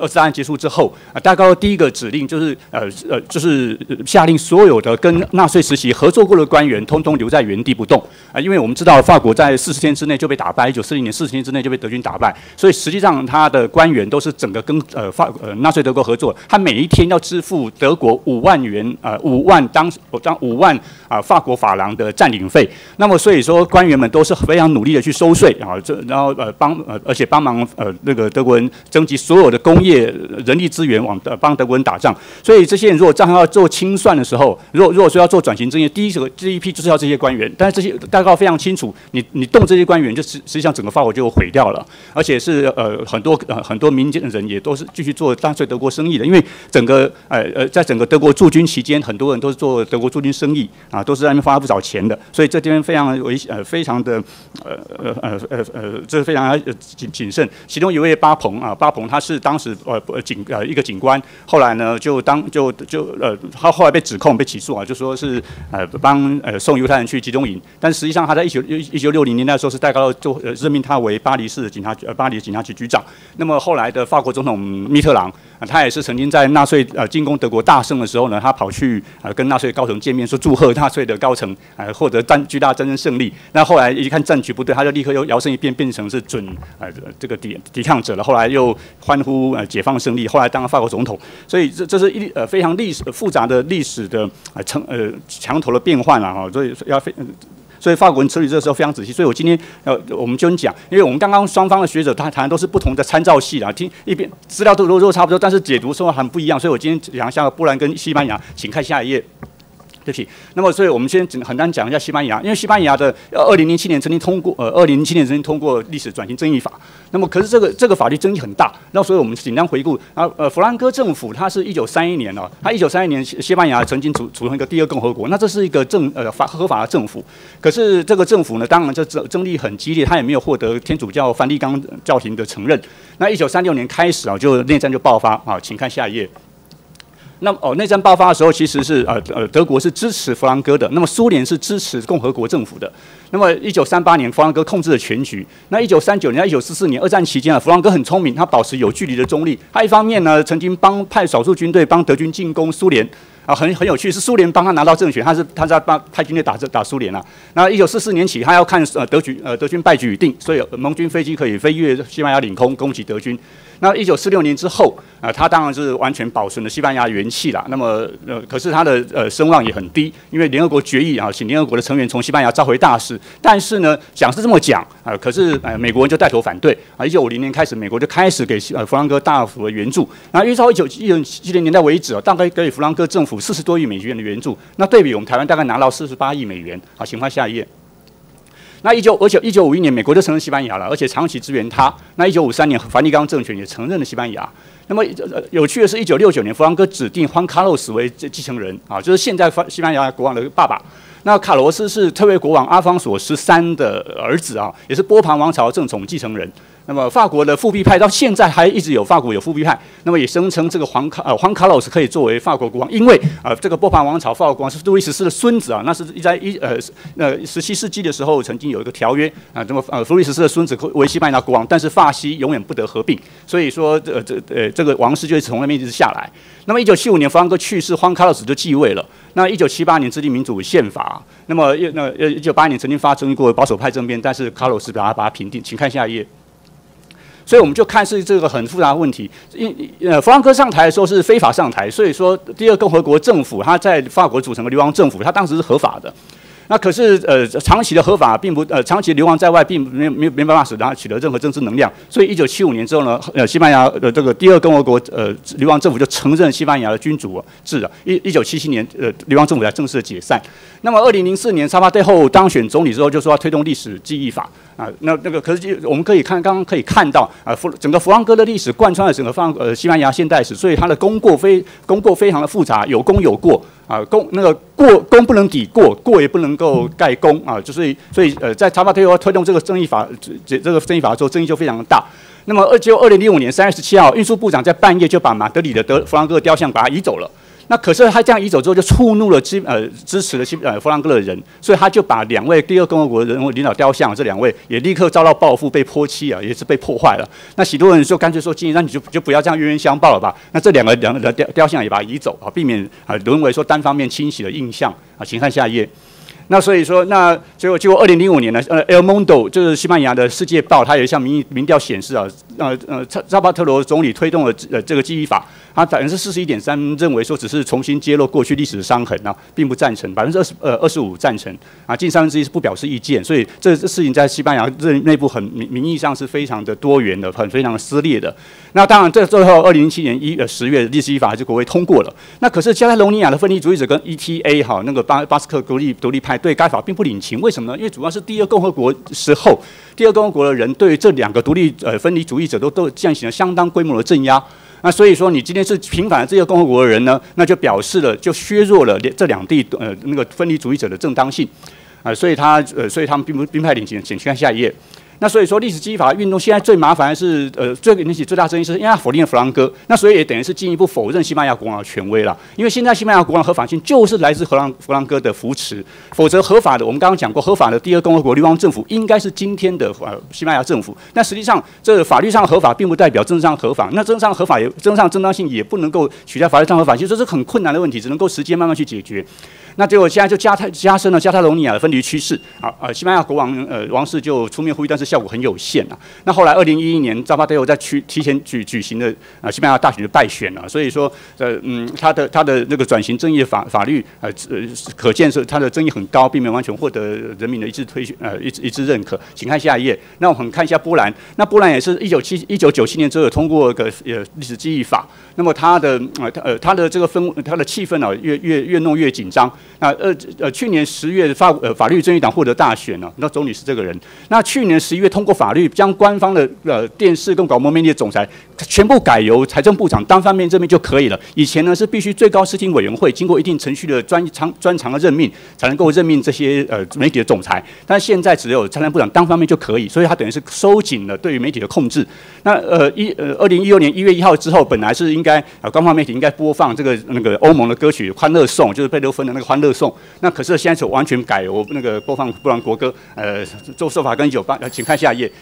呃，所以说那个呃十十二呃去年又通过宪法改改革法啊，那第一个先提高它的呃呃门门槛，那所以你要你要维新的门槛非常困难。第二个呢，就是说宪法院院长再也没有办法去安排说什么时候要赶快审理最重要案件，他必须严格按照时间的先后。那这样的话，你必须三年之后才能够审目前的呃呃案件。那结果就是说现现行政府现在新的政府他推出的法律基本上都是可以推进是合宪的，因为三年之后才你才会这边审查嘛。好，所以这个部分，呃，这个部分就很受争议。第三点，请看下一页。第三个，这总统经过国会同意，可以找宪法法院法官随时予撤换。啊，所以是预测完是完全不受任期的呃保障了，所以法法院法官独立性也不受就不受保障。结果呢，所以欧盟议会议长就批评说这是 good day 大，就是一个政变啊，批评波兰不守法治国原则啊，华沙 IT 就有两万人在示威了。那欧盟执委会主席雍可也说，这个哎，这个这个是要推动对波兰的民主法治的程度的评呃评估，如果认定它是违反波兰为欧盟民主价值，欧盟就会对哦波兰发出正式的警告，甚至暂停波兰的投票权。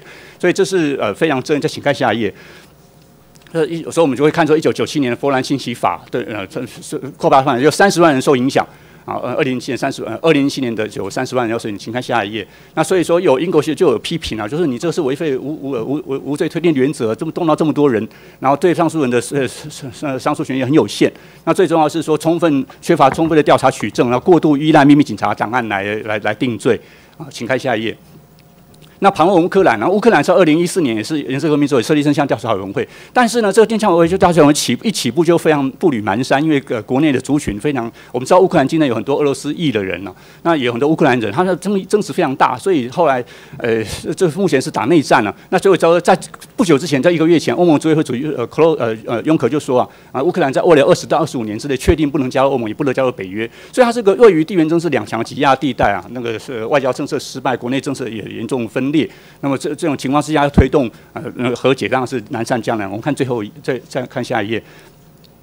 呃，我们看下一页，对不起。啊，这个这个是波兰的民粹民民粹化之后的媒体，我们可以看。我们刚刚讲到说有有犹太追溯犹太人的法律不受时效，那可是这个这点为越来越受很多批评，特别是受到穆斯林的批评。呃，穆斯林说你你你算先有以色列是最富有的啊，你要你说我追杀都不受呃都不受时效影响，那你还继续什么是干都抹进了？所以今天为什么激进的穆斯林会越来越多？在中东我们看 IS 的人越来越多。那么他呃，法国就每年有四千五百人到六千人去中东打仗啊，去帮那个 IS 去帮那个激进的伊斯兰国打仗。那是波兰的一个民粹媒体，它一个呃呃一个一个封面，它就等于是说，我们可以看他那个手都是有那个有肤色的人，等于是说中东裔的人呐，在撕裂、在强、在在在在侮辱了欧盟。我们看这个白，这个这虽然充充满了非常高度暗示啊，欧盟一定是呃欧盟一定是白人做成的，而且它呢这受到呃很多很多穆斯林的撕裂啊，请看下一页。啊，他也这个也是啊，就是就说不是这是波兰文，就说这个穆斯林正在呃侵犯了欧盟。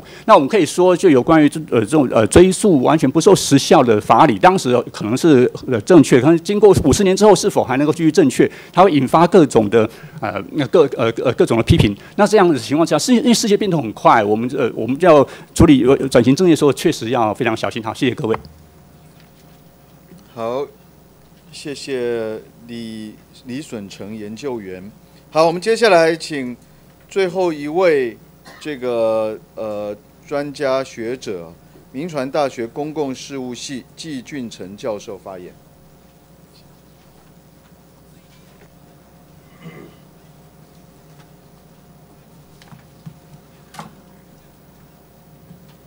我们召集委员、各位学者专家、各位委员，大家好。那么谈到组织呢？它有三个要素，就是地位、前线、编制及过程也。那么促促进这个 转型正义啊条例，它主要的目的之一啊，就是要成立啊这个委员会促转会。那么促转会呢，它现在的依据啊，好像要排除啊宪法增修条文啊。第三条第三项第四项的规定，那么有些人呢认为它是违法的。我在这里我要说明，宪法增修条文第三条第三项第四项的规定，基本上是贯彻组织保留的原则。组织保留原则呢，并不是说要定法律，而是说啊要松绑。所以说呢，就这一点来讲的话，从组织保留的精神来看呢。我个人认为他是没有违法，好，这一点是没有违法。问题是这个定位的问题。如果促进这个转型正义委员会，他要设设在行政院的话，那么可能啊，他就换了一个大的问题，因为这样一个促进转转型委员会，我看它的功能啊。好像是要变成一个准司法的性质，甚至可能他还有这个调查权，有着司法权的问题。如果是这样的话呢，说在行政院啊，可能就不适当啊，因为啊，行政院呢，它本来就是就是对独立机关啊，它对通案啊，根据大法官的解释呢，都有相当的影响力，它都可以可以啊做做一些规定。那这样的影响之下，会不会使他呢？因为行政院长的不同的党派的因素啊受到影响，所以我个人认为，如果真的有需要成立这个促进转型正义委员会的话，这个组织呢不宜啊设在行政院啊，这个是啊可能要考虑的因素，因为要来贯彻它真的是准司法机关的性质的话，那如果说它不是准司法机关，那就另当别论了。再来就是大家很关心的这个委员会的权限到底有多大？哦，看起来呢，它的权限是非常大，大到呢，它是可以啊进入调查。那事实上啊，这样一来的话，就看监察院监察委员的职权呐，就有竞合之处。所以我个人认为，既然他要把它像如同于监察委员这样一个性质的话，他的职等啊，就不应该是啊，检任比较检任第十三职等，甚至于啊，我看那时代力量所提出来草案呢，他都还有检任比呃比较检任第十等。我觉得呢，假如说真的是要有这样一个彻底的大大改革、大建设，当然也有大破坏。这个情况之下呢，我觉得他应该是一力托任啊，比照。国安会的咨询委员，啊，给他更大的权利，呃，职等也要相对提高，使他能够独立性更强。那么同时呢，我觉得这个委员会啊，不宜啊有这个兼任的问题，应该全部都是专任，而且啊，不应该啊有连任的问题。也就是说，他任期只有三年的话，就只能做三年，哎，那么下一届啊，就是别人来做，为什么呢？这样才无后顾之忧。一个人可以连任，而且啊，连任多久哎不知道，因为虽然是两年，他可以延长。刚刚有一些委员也提到，有教授也提到，可能啊，哎无限期的，这个都是不当。如果你给他四年也好，三年也好，就是只能做一次这一任，在这一任里面呢，好好的把它把它搞清楚，对国家做重大贡献啊，我觉得啊，这才是正办。一个有这种连任的这种思维的话呢，他的独立性就不足了，因为他要考虑到未来要连任了。就像我们监察委员，如果他都只能做一任的话，我相信他会比现在做的更好。那么再来就是底下的人员啊，都叫做编组啊。我就既然它是一个机关，虽然它是一个临时的机关啊，但是呢，它底下的组织啊，不能叫什么编组，就叫什么处吧，啊。保障处啦，这个调查处什么的，应该是一个很正确的。这是我啊，就这个组织的部分啊，我提出这个看法。进一步呢，我要说明的就是说，促进转型正义条例，那到底什么叫转型正义呢？这个呢，我们的法条里面没有规定。当然了，依照我们过去的立法律，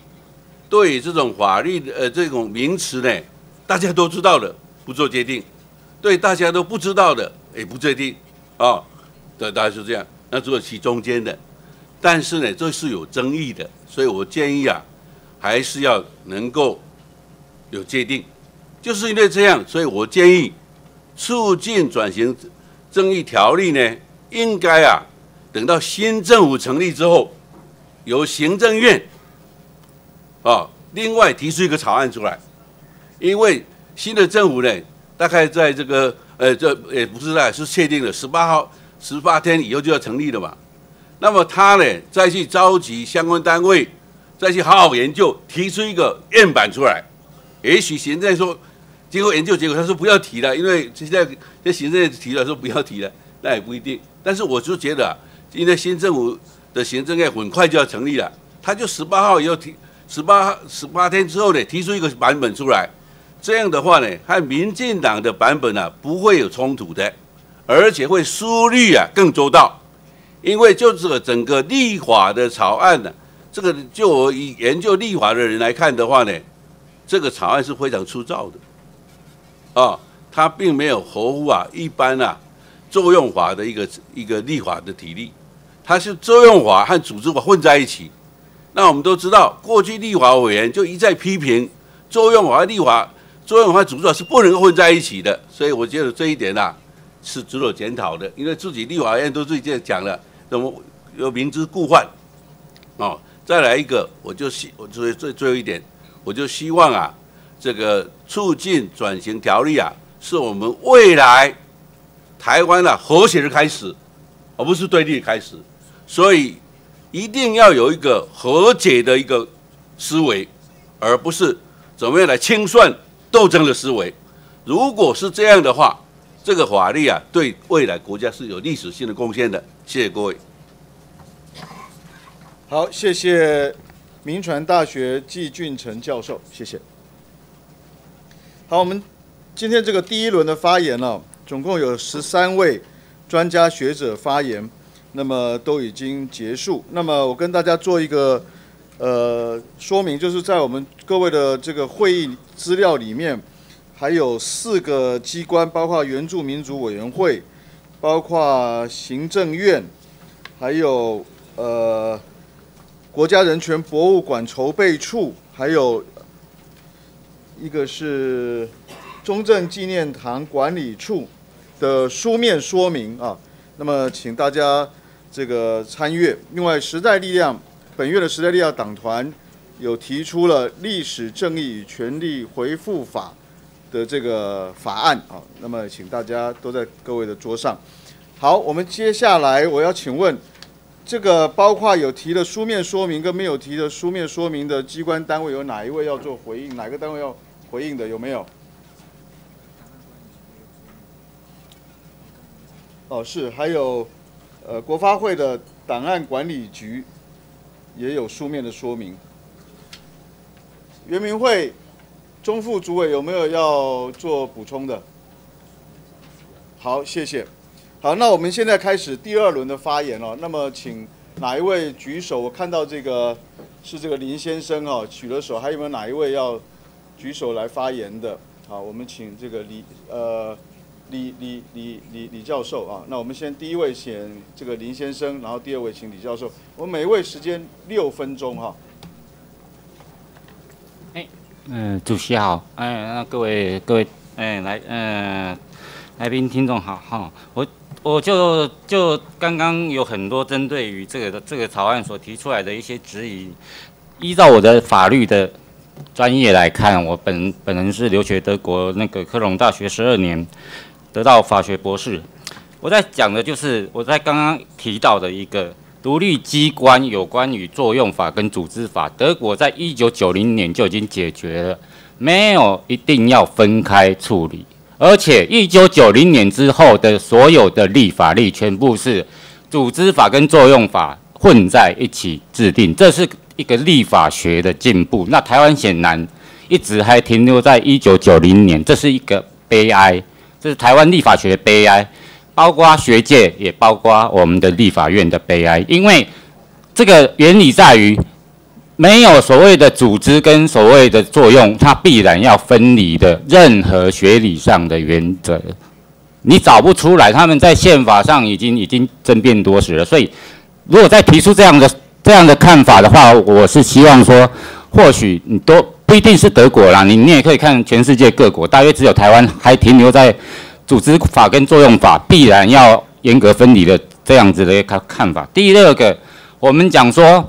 什么？为什么这个这个机关会有这么大？会会有那么多人觉得这个机关的权限大的不得了？我们我们实在不了解，我们也实在真的无法理解。就是说，请问 NCC 能不能叫人来调查？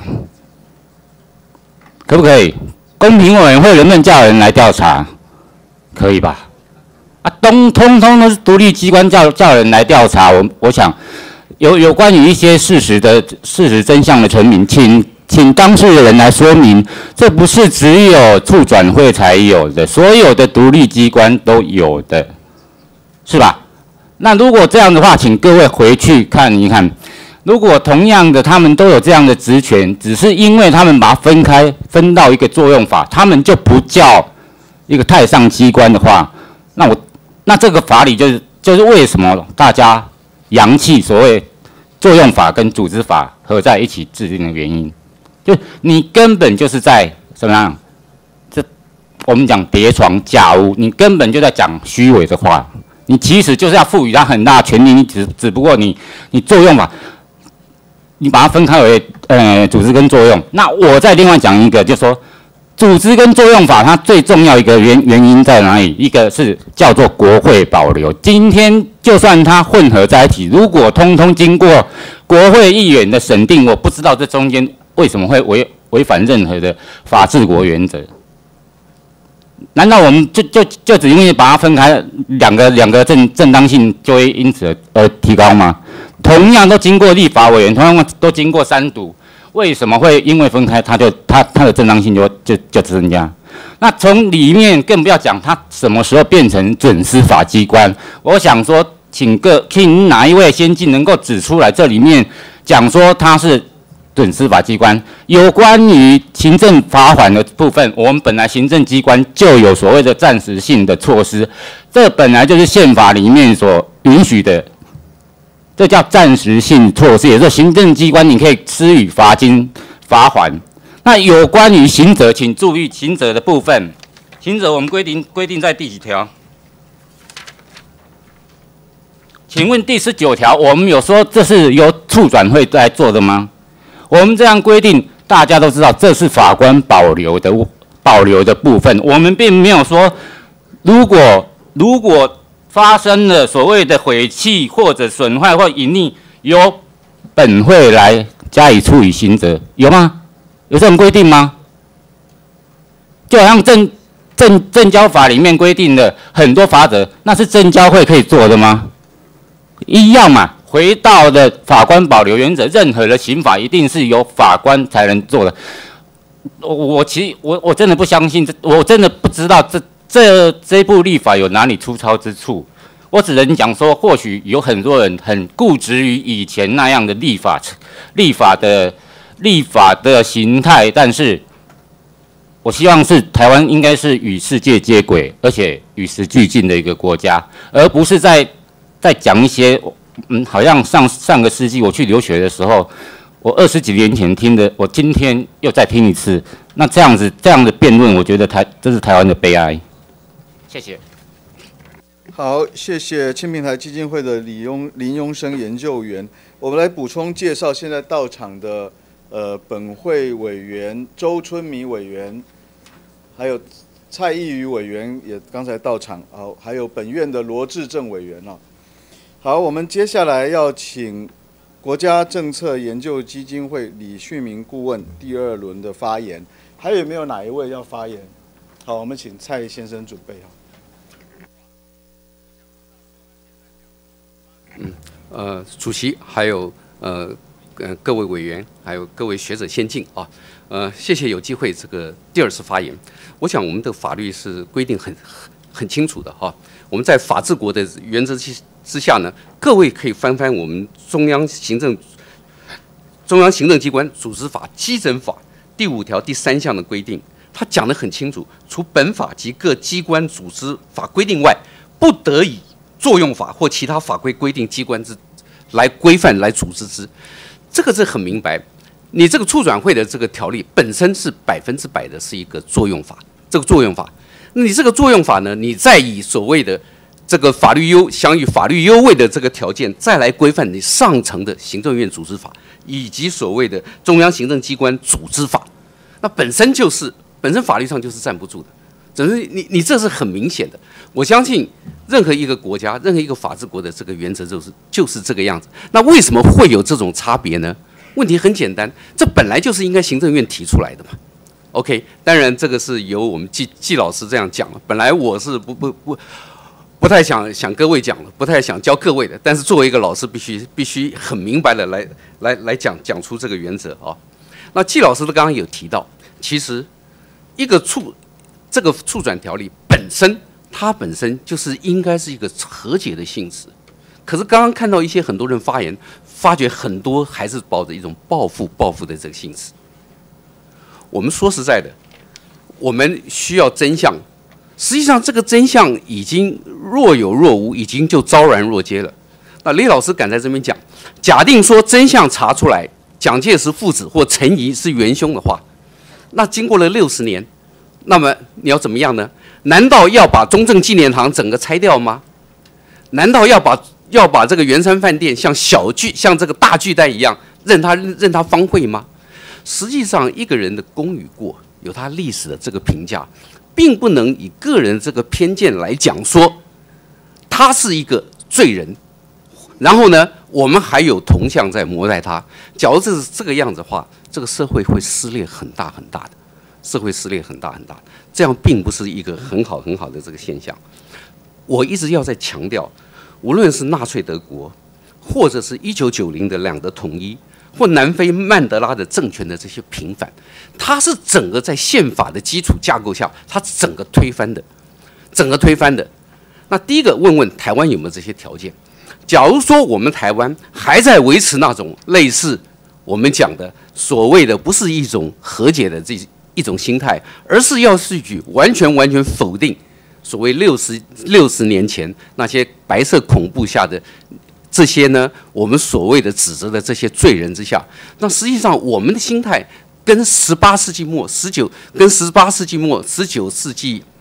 呃呃不不跟跟跟跟十七世纪末跟十九世纪初法国大革命一九一七九一年到一八二一年那种恐怖统治的这个时代有什么这个差别？所以这个是我们要再三强调。当然，我个人也认为，你这个促转条例你要怎么个提法？那我们是站在一个很心平气和，以及按照法治国的这个立场，给各位很多的这个意见。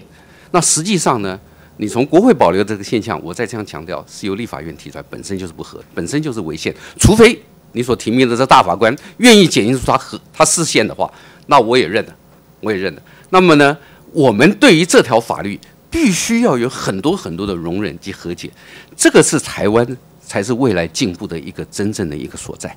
OK。好，谢谢。我们接下来请台湾戒严时期政治受难者关怀协会的蔡宽裕荣誉理事长来发言哦。呃，蔡理事长是一九六二年到一九七五年在太原监狱啊，如果我的资料没有错的话，他被关的时候我还没有出生哦。来。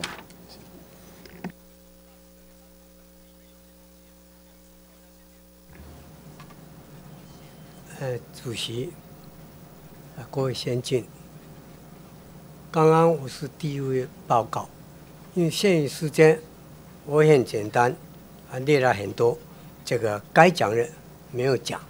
因为在我们驻政条例里面已经有列了四四项功能，所以我就基于我们的诉求，我就不提。但是呢，我刚刚在台下听到几位学姐。专家，他们的发言重点就是说，这个是不是活解该有的？这个是熟练族群该有的。当然，我反问诸位：当年在检验时期，白色恐怖在迫害这个人权的时候，各位有没有讲一句话？有没有主持公道？我告诉各位，我政府诸法犯法，我举两个例子。宪法第九条明明规定，非现役军人不受军事裁判。但是呢，当年在台湾解严时期，依据解严法第八条、第九条，解严地区。重大刑案、内乱万案罪，一律交付军事审判。那好，我们就是根据这这两个条文受军事裁判。但《解严法》第四条有那么规定：非军人受军事裁判权，解严解除一日起，得上法院提出上诉，但是，一九八七年七月十五日，要解严前夕，立完通过了一个国安法。第九条，经过军事审判，判决确定者不得上诉，剥夺了我们的上诉权。宪法明文规定，人民有诉讼权。他是不是违反宪法？他就是这样子。在当时有没有人讲主持公道？就明明自己定的法律又违反这个法律。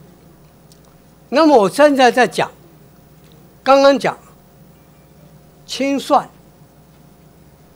那好；报复，那好。已经数过六十年了。我们有一万八千多个人受害，将近两千个人被枪毙。那么呢，这些人该罪罪应得吗？我举一个例子：补偿条例有排除条款，凡是参加非党或是判断有据，不予补偿。那经过四十年补偿基金会，请专家学者做一个评审，获得赔偿人是达到百分之九十点八，就九十六个人，八千个案子当中就九十六个人不予补偿。那么换一句话，在定这个不当审判补偿条例。不当两个字来讲，就冤假错案，几乎一万多个人是冤假错案冤死的。那这些人该冤死吗？历史决定该不该清算。这些人是过去了，我们不是要鞭尸，但是我们要理清历史的责任，追究谁该负担这个责任。这个是我们的诉求，并不是我们要去清算这些人，要鞭尸这过去的人。刚刚还有个学姐说，把中正纪念堂拆掉吗？我举一个例子，三年前，我们国家人权环境补偿基金会合办这个人权研讨会，聘请波兰、东德、助力的学姐来。当时，农部长陪他们到六张里去，去看了当年被枪毙、没有说书的那个乱葬岗。下午又陪同他到中正堂去看参观。东德的学姐，他说我到台湾来，我觉得很奇怪，我精神有点错乱。上午看的是一些被害者的一个危机，下午看的是加害者被膜拜的一个纪念堂。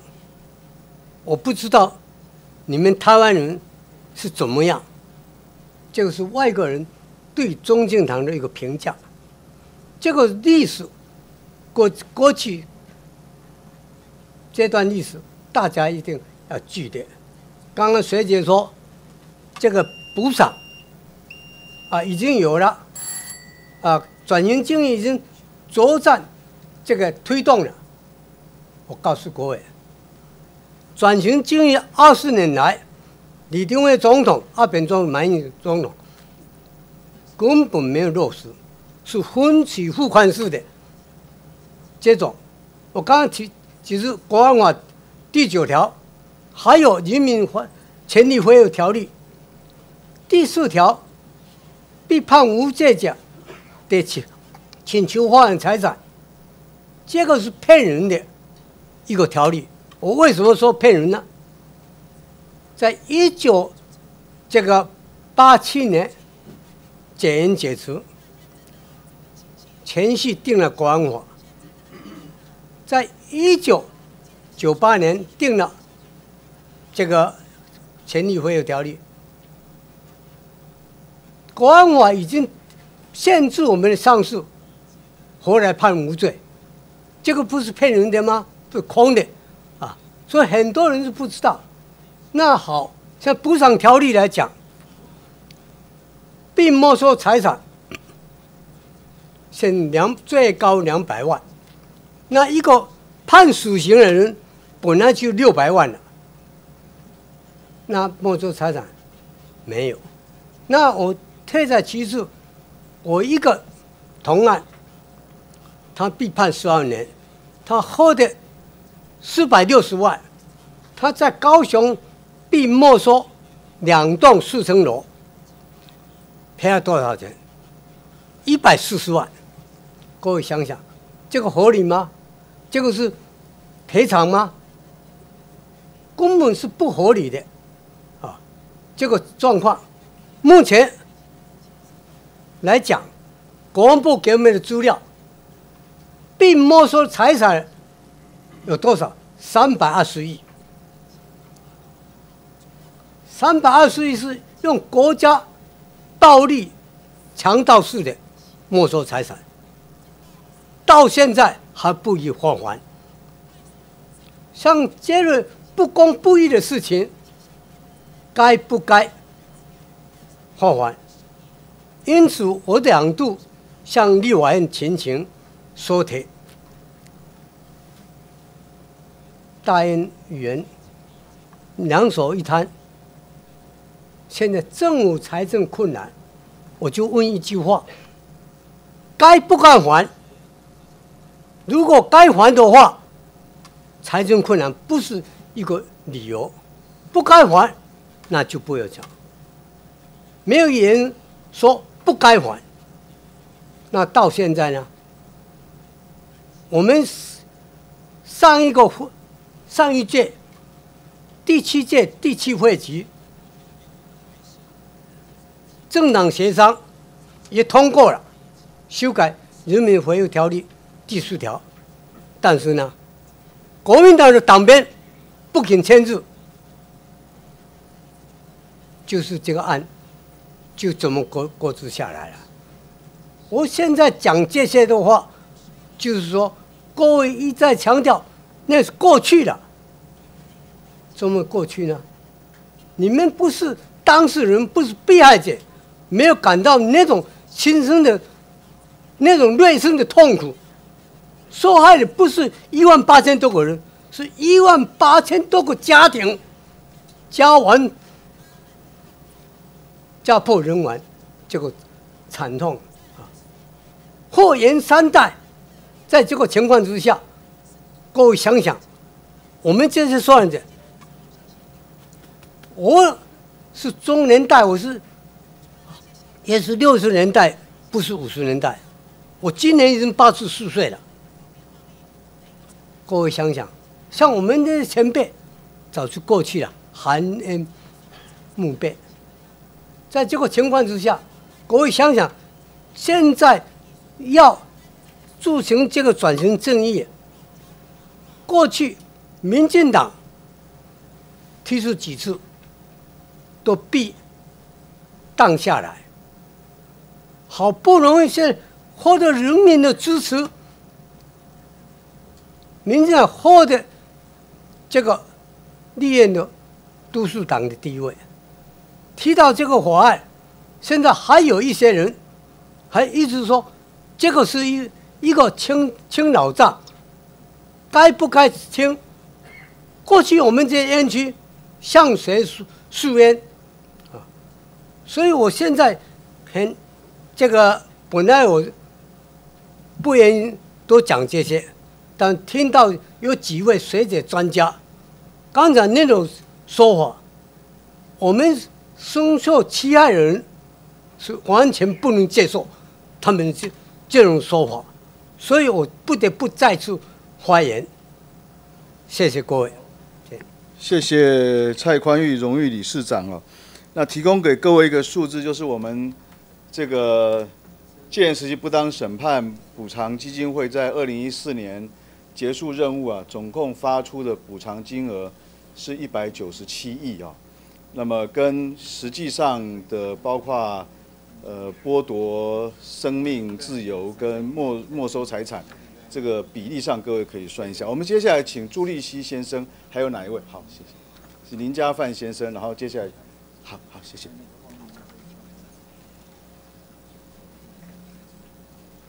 呃，我做一点 很简短的补充哈，啊，不会占用太多时间，啊，因为这十年来我在做那个国际人权团体的交流，那么韩国来的啊，我们也到国外啊，这样这样子接触之后，啊，特别是韩国的真相和解委员会的委员长宋基颖神父来台湾的时候，他看到台湾的转型做转型正义的工作做的这样子哩哩啦啦啊，他讲了一句话。通常都是因为加害者方的傲慢跟不知道自我反省，好，所以你们台湾的转型正义做不到。为什么会讲报复、撕裂族群？这都是加害者方自己心虚，哦，才讲出这样子的话来。我在当二二八基金会董事的时候，二零零六到二零零九，二二八的预算在立法院一再被背革，背革最强的是谁？张孝炎。第二个是洪秀柱。哦，你们现在台湾人执政了，你们要你们要报复了。台湾人是多么的悲屈啊，然后受尽了各种磨难，我们只需要寻找回到公道跟正义，那么这样子马上被抹黑，因为台湾人自己没有自己的历史解释权，没有自己的文化解释权。今天有很多媒体记者在在座哈，我是二十八年的资深媒体人，我可以告诉大家。今天为什么台湾人的声音发不出来？因为历史解释权、媒体解释权都不在台湾人手上。我还在讲，就是说，韩国的转型争议，一九八零年光州事件发生，到一九九六年两个前总统被判重刑，他们靠的是什么？他们是靠的是民意做后盾，他们靠的是社运团体的支持。那他们定了两个特别法，永远可以追诉啊，叛乱罪、内乱罪、集体屠杀罪。我觉得我们必须要把这样子的永远可以追诉的条款放在处转条例里面，才有意义哈。另外一个，我刚刚没有提到，就是说还有一个是除垢人事清查的的条款。我觉得我因为这十天来，我这是第六场，那第六场也是我准备的比较完整。我甚至把那个韩国的两个永远可以追溯的法条，都直接从韩文翻译成中文哈，在我的那个呃附录呃在那篇稿子的后面哈，你们可以自己就可以去看哈。那我觉得一个很重要就是我们还必须要有个除垢条款。我这前四次开会之后，我才知道说国安国安法第九条第二款哦，旧案不得上诉，是在解除戒严的前两个礼拜。偷偷摸摸的，我觉得这是一个奥波，真是个奥波，掏假波，然后告诉你说戒严时期你所受害的你不能上诉，然后呢，一九九一年大法官事件会会议在说这个和宪，坦白讲这一些法官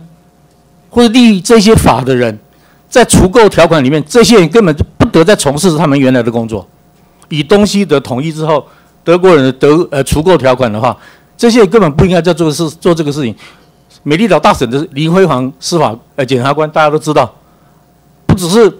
没有被除垢，而且官越做越大。现在还是法务部的政务次长，他这个之前是司法官训练所，现在叫司法官学院的院长。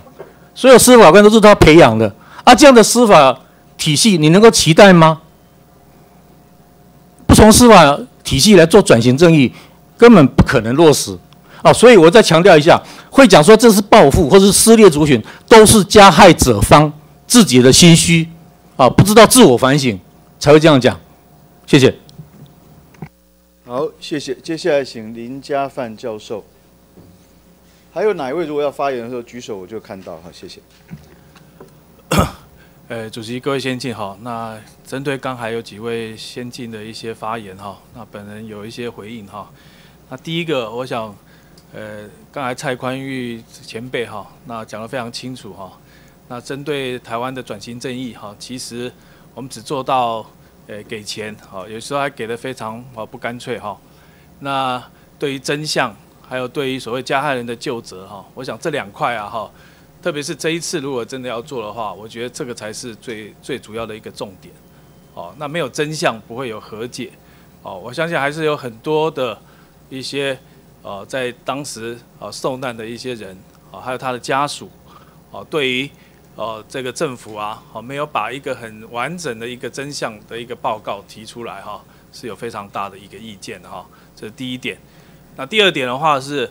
呃针对好刚才呃几位先进提到哈这样的一个促转条例里面哦。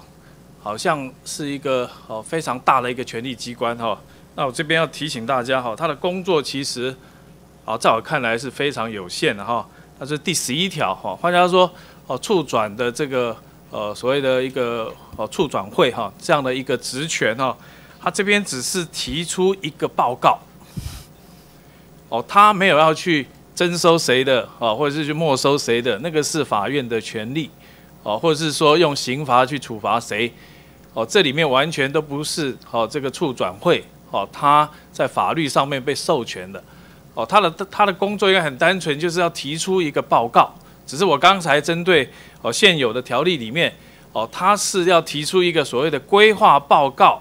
哦，而不是一个真相报告。我觉得这个时间哦拖得太长了哈。他其实应该要哦针对这个真相的部分哦，要提出一个真相的报告。哦，而且在提出真相报告的同时，哦，我想，哦，可以促进大家对于需要转型的各个面向，哦，需要更多的一些立法上面的一些修正，哦，或者是一些行政措施上面的一些改革，哦，哦，才能够更清楚了哈。所以说，我想最重要的应该还是，哦，要把这个真相调查清楚了哈。那基于真相的调查，哦，给予一定上好的权利，好，我想是必要的，哦，可是。哦，这样的权利绝不是绝不是像有些哦先进前面提到了哦什么作用法哦什么组织法，我想没那么伟大哈。这个促转会它还是一个任务型的工作哦，它只是要提出一个报告哦，让社会大众对于哦在戒严时期哦所发生的很多事情哦哦可能有很多的人的受难哦，让他们有一个比较清楚的知道。然后另外，但要指出到底哦这样的一个结构下面。哦，造成这些受难者，哦，是什么样的一些呃人，哦，应该要负责？我觉得这个应该是，呃，还给哦这些受难者一些最基本的一个哦一个工作。好，谢谢。谢谢。那我们接下来请汪教授。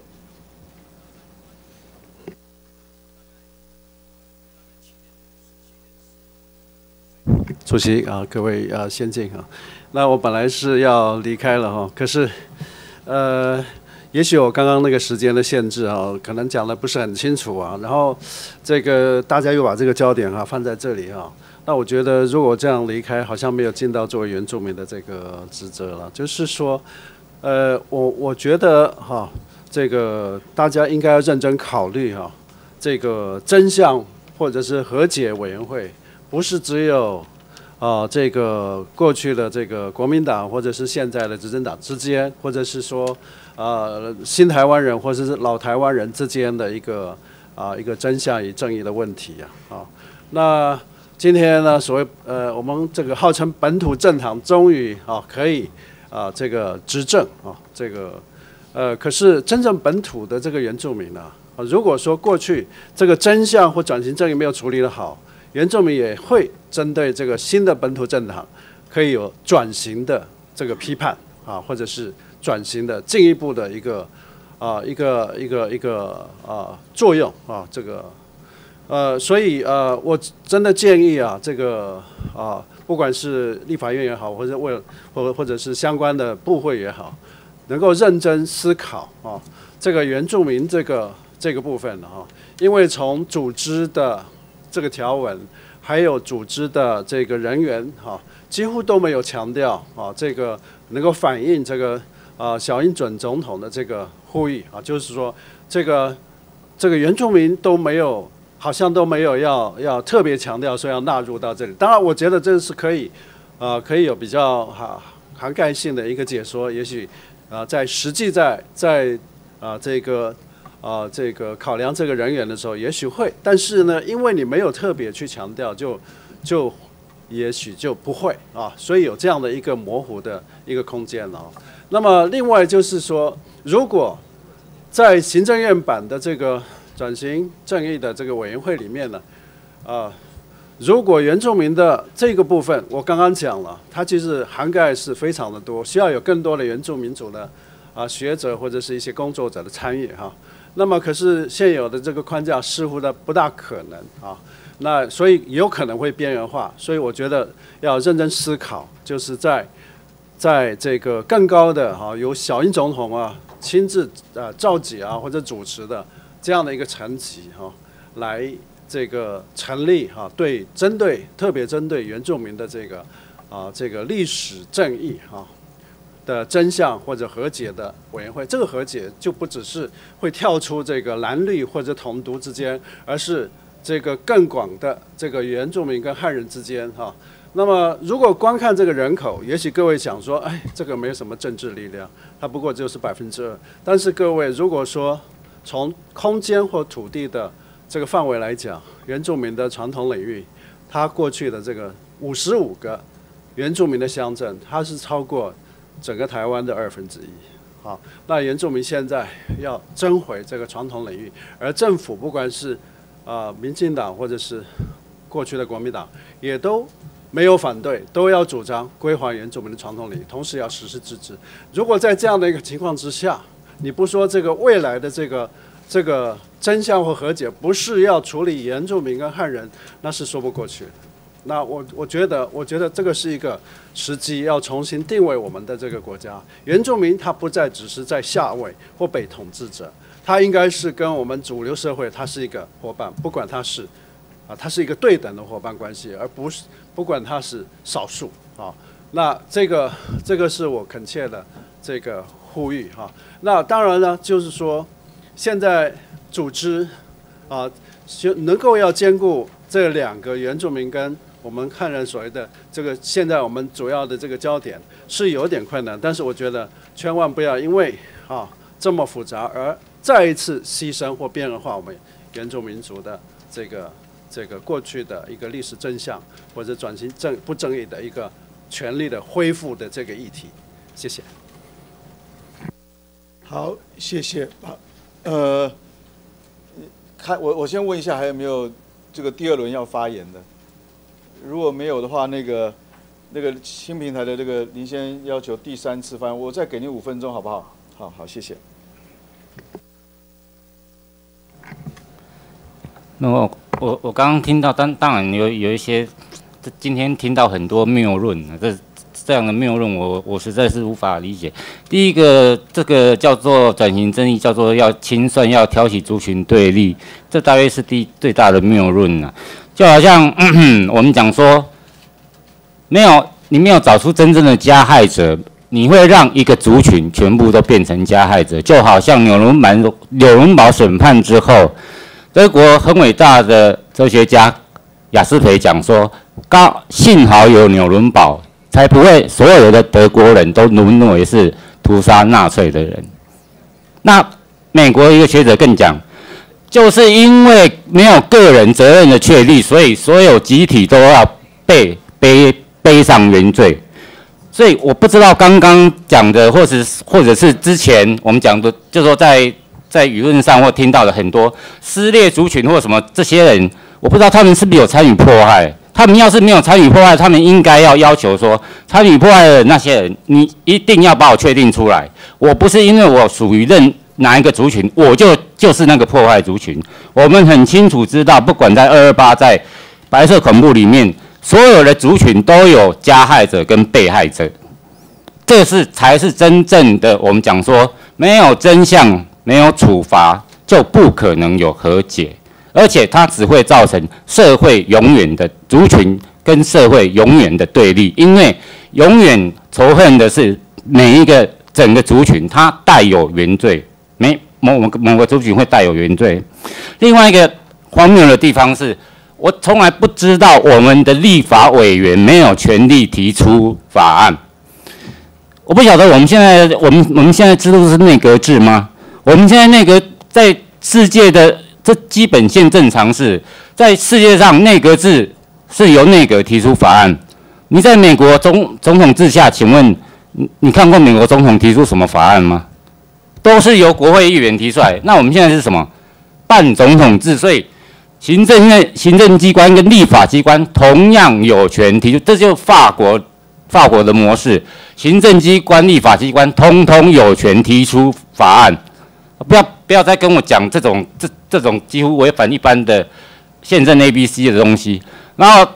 另外一个我要我要讲的是说，我们的社会是一个变态的社会，就是你遇到那小灯泡这件事情，你看这些人全全台湾群情激愤，群情激愤到什么程度？这遇到郑杰杀人，他杀了不过四个人，但我们我们。今天面对二二八白色恐怖杀了几万人，我们居然应该讲说放过他吧？那我们看看我们在怎怎怎么样对待那个杀小灯泡那个那个凶手，连他连小灯泡妈妈他要原谅，大家都不让他原谅。那居然我们现在要要原谅？那我再讲一个，如果联合国联合国真真那个，我们应该这样子，就是说不去追究任何的加害者的话。联合国他为什么不不不不像我们的柯文哲市长一样来宣布一个宽容四四海成就台湾？他应该怎么样？宽容四洋成就怎么样？世界？他为什么要提出？我们讲说两千零零四年提出第一次的检讨报告，表明没有追追求任何加害人，没有任何追求加害人跟补偿被害人的所有转型正义都是虚伪的。再补充一次，在两千二零一一年。安理会又要又叫联合国再补充再检讨一次，以后规定每七年进行一次检讨。所以我的意思就是说，联合国难道他的他他们他们的他他们的胸襟难道不如我们的一个市长或者是在座的我们台湾这么这这些人那个，我还是我们真的是很伟大，所以我们什么都可以原谅。那联合国联合国是一个小人。他是他是一个全世界最大的小人。好，谢谢。好，谢谢。好，我们接下来要请这个我们在场的委员了。呃，如果有要发言的，我们照先后到场的先后顺序。第一位尤美女委员，第二位林德福委员。第一个签的，去看看。你第一个签，但是到场的时候，我要看到场的时候坐在这边好不好？不好意思。好了，谢谢哈。来，我们请尤美女委员。委员发言时间一样六分钟啊。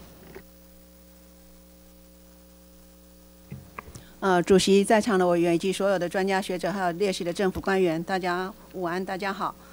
呃，今天呢，我们聆听了各位专家学者关于这所谓的促转条例的一个发言。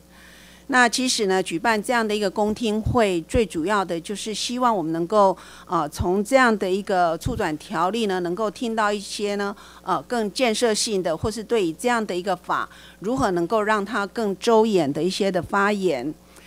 那我想呢，就是对于二二八的事件或是白色恐怖，这个都是已经是历史存在的一个事实。我们也都有二二八条例，也都有这个白色恐怖的这些的条例。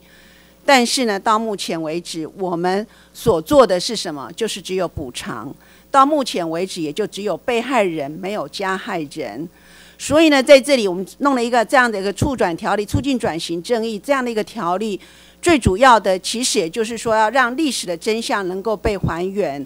然后呢，对于加害人能够处置，对于被害者能够真正的赔偿。而且呢，对于这些的过去呢，应该负责的啊，这些的历史呢，能够要啊，就是应该要能够被被呈现呢，甚至甚至呢，应该要去处理。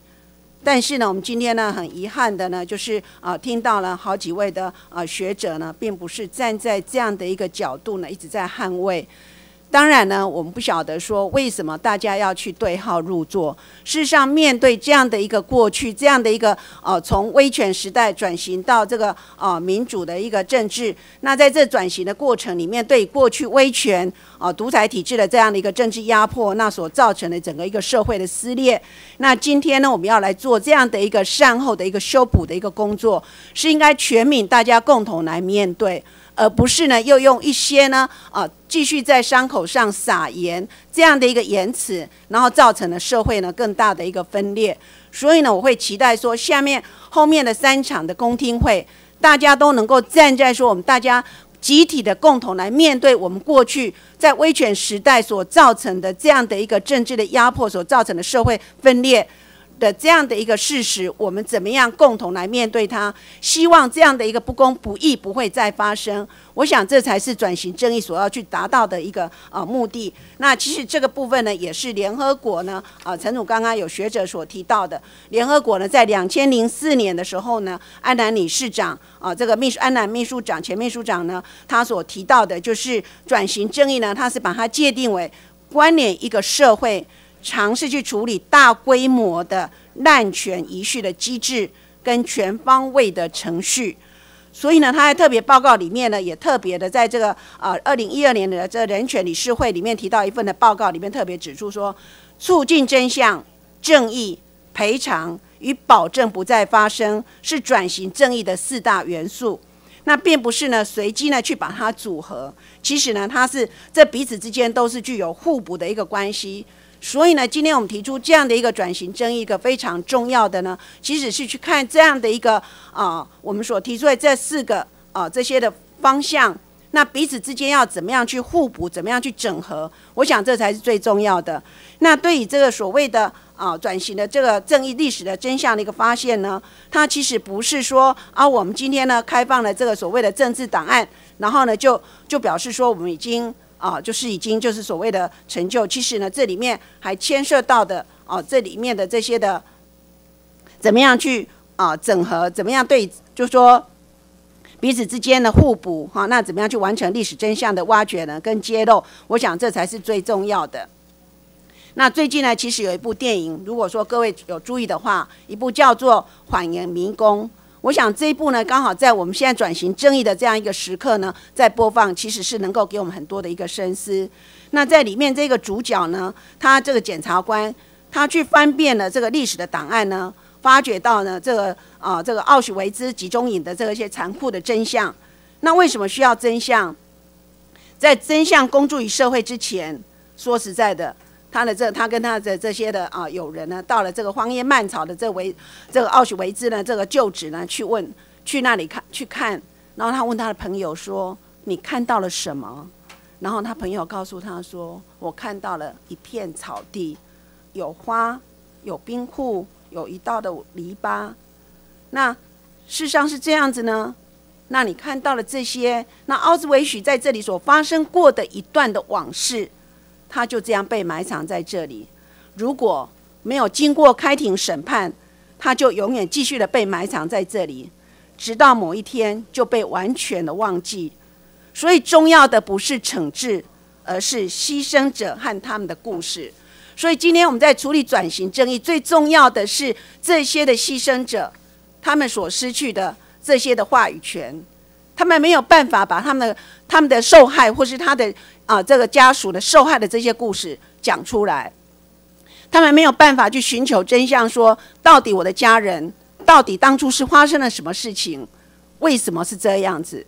所以这些的事情重要的是要这些的历史的真相，是要他们的话语权，是要他们的故事。所以当他们在这叙述故事故事的过程里面，他们能够得到悔悟。这个抚慰，那也同时让过去的历史不再被掩埋。所以呢，如果没有这些，我们就没有，我们就没有办法记忆，也就只能够遗忘，甚至无知。那遗忘呢，跟无知的状态是没有办法修补好这个系统性跟制度的暴力所造成的伤痕。所以今天呢，我们要处理暂行的争议，也就是希望说，能够对于这些的过去的历史的真相的一个呈现，对加害者的一个处置，然后对被害者的赔偿。那以及呢，对过去的不公不义的这些的事件，让它不再发生。我想这是还是我们要处理的。那我希望说，我们后面的三场的公听会能够往这样的一个方向去发展。谢谢。好，谢谢。那接下来，接下来依序是林德福委员、蔡依瑜委员跟罗志正委员了。那么这几位委员发言结束之后，我们就会结束今天的公听会。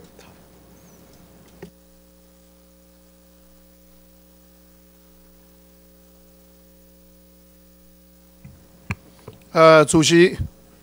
呃，各位员同仁，呃，与会各专家学者，我想有关于今天呐，啊，这个促转条例的第一次公听会，我想很多专家学者，呃，都发表了很多不同的看法意见。那我想，本席一直认为说，这个民进党马上就是五二零以后全面执政。我想人民要的，就是怎么样把经济搞好，这是第一点哦。人民是希望说生活能够好过一点哦。那至于说这个转型，呃，这个促转条例啊，我想我们都知道，其实过去哈很多林林总总，啊，你要是要讲到这些的话，我们都值得大家去探讨，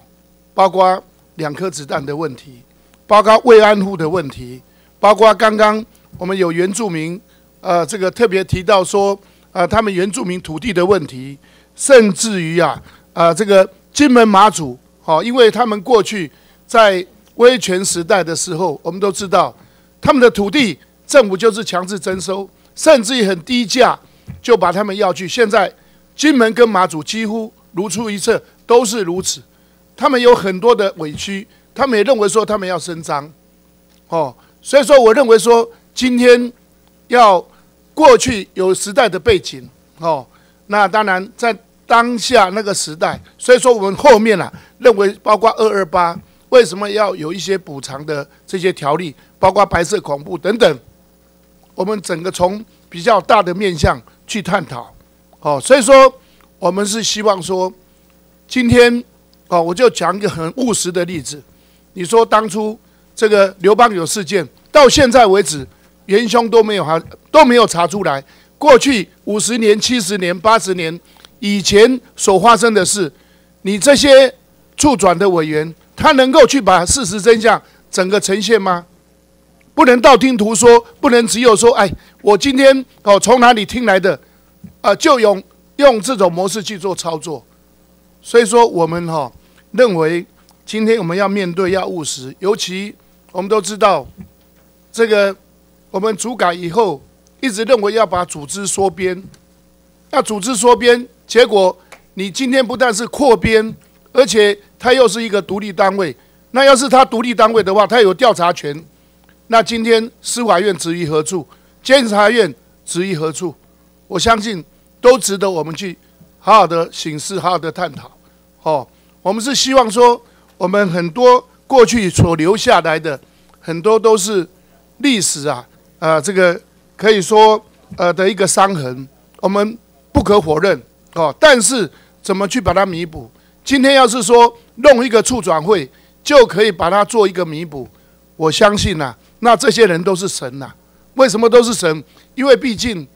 他们呃这个什么都能够清清楚楚的调查出来，而且他们有那么大的调查权吗？那这个我们这些检察官。包括法官，甚至于监察院的委员，你置他们于何处？哦，所以说，本席一直认为说，我们这段时间其实哈，很多媒体啊都有在讲，你说在促转条例过程，要是要去查查访的时候，先前有一些宪兵哦，呃，因为他这些宪兵上次哦，就是在搜索的时候哦，我们。呃，这个很多委员就批说他是白色恐怖，就要把他司法警察权拿掉。结果这次促转条例里面，又把这个宪兵啊，呃，这个可以协助来做一些呃，就是呃，在呃整个呃调查过程当中，要宪兵来协助，他又有司法警察权。所以说，先前所要求的跟后续啊，好像前后都斗不起来。那这个我在我想起来，哦，是不是呃这个来为了这个呃这个促转条例，然后又特别来设啊，先前又把它废掉，这个是什么逻辑？我也看不通哦。那里面还有很多哦，包括你看这个可以说这个有不当党产啊，都要转为这个国家所有，若有规避哦拖延或拒绝调查。最高可罚三十万，可连续处罚；呃，若毁弃哦，这个损毁、隐匿一些保存的文物，最开最高还可以处五年的徒刑等等。我认为哈，其实里面很多的文字里面的内容哦，充斥的都是空白授权，都是空白授权，权力没有那么大的啦。而且哈，我们都知道怎么去弥补哈，并不是弄一个促转条例啊，就可以把这整个历史的伤痕哦，就全部哦把它一概的哦。就就就把它这个抹平，我相信我们在座很多委员哦，其实我刚刚讲的这一席话，主要是要提醒大家哦，新政府上任最重要，人民要的是我怎么生活好过一些，大家拼经济。今天不是来搞，我今天哦针对什么针对什么哦来弄，那其实二二八条例包括白色恐怖这些补偿条例，我们也都支持，也没有反对哦。那你？现在马上跟着原住民，他们也要求说，所有呃，这个以前他们在山上，让他们让平地人赶下来，他们要要他们的土地呀，金门马祖也要他们的土地呀，等等很多了，包括台东，我我经常去，很多乡亲说他们那个工地放领，过去什么其他地这个县市都可以，为什么唯独只有台东他们不能工地放林？他们已经几十年在那里，甚至于好几代都在那里。还是一样，啊，目前维持现状，所以说很多哈，我认为真的是好好的要去探讨研究。好，以上。谢谢林德福委员，接下来请蔡依宇委员。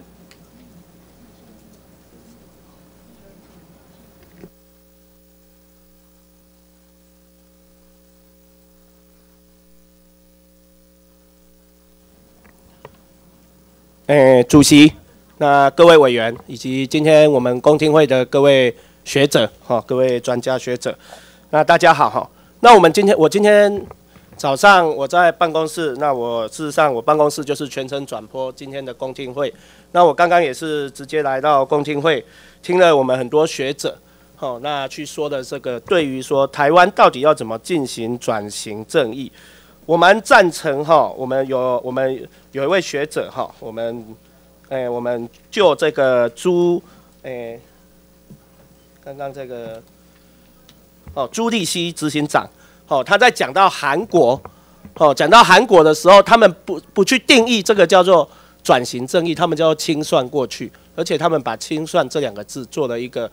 比较中性化的一个名词，确实在台湾清算这两个字是有被污名化的，所以我我我一直认为了哈。台湾的转型正义到底是什么？哦，我我想在这里，我跟大家再分享一个，我想很多人都知道，说过去台湾的一个大法官解释六十九号，六十九号解释它是怎样？它是在五十九年的，诶，它是在诶诶那个大法官解释一百二十九号，不好意思，一百二十九号，一百二十九号就是说在台湾哈，在光复时，在这个叫做这个政府迁台之前，有一群未满十四岁的。的学生，他去参加了一个叫做儿童团的一个活动。那后来在政府迁台后，就把参加这个儿童团，他把它定位说它是一个叛乱组织，它是一个亲共的、亲共的一个组织。所以当时国防部就在民国五十六年的时候，就事隔二十年，这一群未满十四岁以上的未满十四岁的小小朋友都已经四十岁了，就他就说你在未成年前。好，还是小朋友的时候，你去参加这个儿童团的活动，那你是涉嫌叛乱，结果用国防部用组织叛乱条例判了这些人，把这些人抓去关。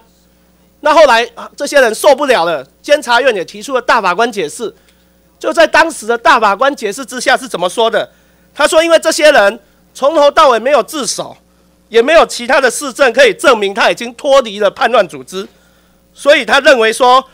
依此可以推定他的行为仍继续存在，属于一个继续的一个状态，所以这些人仍在是继续叛乱的状态，所以大法官解释认为这样的行为不违宪。那这样就是一个台湾的一个过去嘛？过去基本上你的整个司法的台湾的司法并不是正义的最后一道防线，他是毫不掩饰的替国民党、替威权统治时代来做效劳的一个工具。那我们今天好不容易可以进入了第一次的在国会的一个政党轮替，我们难道没有这个义务？我们难道没有这个使命感，来把过去这七十年来，到底威权时代侵害了多少人，来做一次的清算过去吗？真的不用清算吗？那我们今天有有些代表原住民的，代表原住民的学者，他们讲了原住民的过去。台湾确实在汉人来台开垦，那跟原住民有很多土地的纠纷，这个是无从抹灭的。那我相信民进党也是会就就这段原住民他们在过去上的一个权利，我们之后还是会做如何做一个平复。但是在原住民的过去中，有更多的是汉人跟原住民之间的一个纠纷。我我最近接接接到了不少。叫做原垦农，哦，原垦农这个组织，这个跟原住民可以说势不两立啊。那原垦农也是跑来澄跟我们澄清，说哦，阮是早期吼，伫日本时代，阮阿祖迄个哦，做阮的祖先的时代就来台湾开垦啊。啊，阮开垦的土地买手国民党时代专用林务局，专用这个台大实验林吼，台湾的土地拢占去。安尼这土地是不是嘛是爱还完？这背后也许又牵扯到了。环保问题牵扯到了山坡地开发的问题，可是更严重是牵扯到了那这这些土地到底是属于原住民，还是你袁肯龙也要跑出来伸张主张你的权利？所以这部分很复杂。未来我觉得民进党政府是有义务，就这样过去一段历史也是来做了哈，做大家权利的如何如何补偿哦，这一段是补偿哦，但是呢？威权时代，它不叫补偿，它是赔偿的定义。我刚举了这么多的，我刚举的这个大法官解释一百二十九号，做出这样解释的大法官，到目前为止，是不是还在领国家的退休金？做出当时候美丽岛时代的军事检察官，起诉了美丽岛的白色恐怖这些人。是不是有些现在还在位？那这样的一些司法去效劳威权统治时代的人，难道我们不必要定一套专法来做这样一个历史的平复吗？所以我认为促进转型正义条例，他当然没有办法把台湾整个历史的面向全部的一个还原，就是我刚讲的袁可农跟原住民的这一段历史，但是我们至少要处理到。从政府迁迁来台后，一直到了真正台湾进入民主化这一段空白的期间，也就是白色恐怖的一个时代，我们必须要把这一段历史用一个专法来做一个解决。该还给人民的要还，该恢复名誉的要恢复，该追究责任的一个都不能让他跑掉。好，这是我的建议，谢谢。谢谢蔡议委员。我们最后一位请罗志正委员发言，时间六分钟。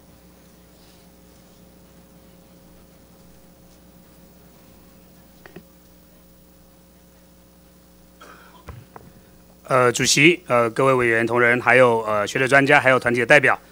呃，抱歉啊，耽误大家用餐的时间。但是今天是我们在台湾的历史上重要的第一步，也就是针对转型争议题，我们终于有一个认真讨论的一个开始。我们认为，一个不敢面对自己过去历史的民族，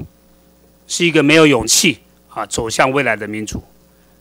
一个国家，它过去发生什么事情，如果连我们的下一代都被灌输错误的，一个讯息的话，这国家怎么会有一个正确的未来？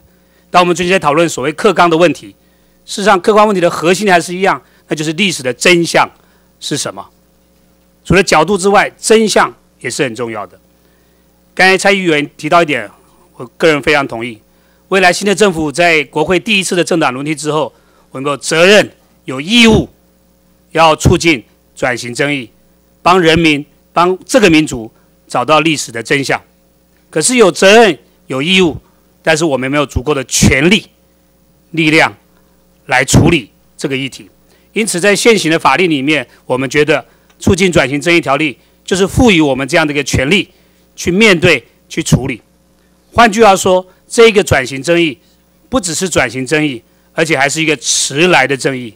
换句话说，一直拖到我们在国会第一次政党轮替之后。才出现这样一个曙光，出现这样的一个正义，已经晚了二十几年，我们还要晚多久？所以，促进转型正义条例或相关的专法的部分，不是要不要的问题，是够不够的问题。也就是说，我们在位阶的设计上够不够？我们在内容的处理上够不够？还有我们的赋予的权利够不够的问题？从位阶的角度来讲，该有学者专家也提到，在某些国家，包括德国、南非等等，它是甚至破坏整个宪法原来的制度架构去处理这个问题，也凸显了这个国家如何重视这个转型正义对国家正常未来发展的一个重要性。可以台湾的现状来讲，要用宪法这个层次来处理，的确有很大的困难存在，包括原来的框架里面限缩了未来用宪政架构或宪法架构来处理转型正义的可能性。因此，我们事实上是不得已退而求其次，必须放立在法律上这个位阶来处理转型正义的问题。所以，从法律的位阶如何强化，不论从组织面来讲，从法律面来讲，来克服没有办法用宪法这个位阶来处理的问题。我相信很多学者专家可以提供我们更好的意见。第二个，内容够不够？目前我们的所谓的促转的内容里面，包括所谓政治档案的部分啊，清除威权象征的部分，或者所谓不义的遗址如何处理，还有司法啊贫富的问题等等，还有不当党产这些东西到底够不够？还是有更迫切的问题，包括啊这个所谓原住民所关切的相关议题等等。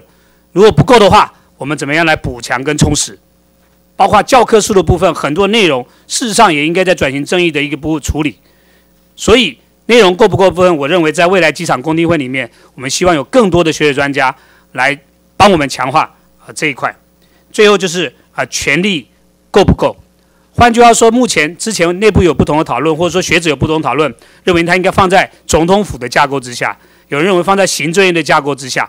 但这样的一个权力。它的赋予到底能不能重点找到真相，还促进和解？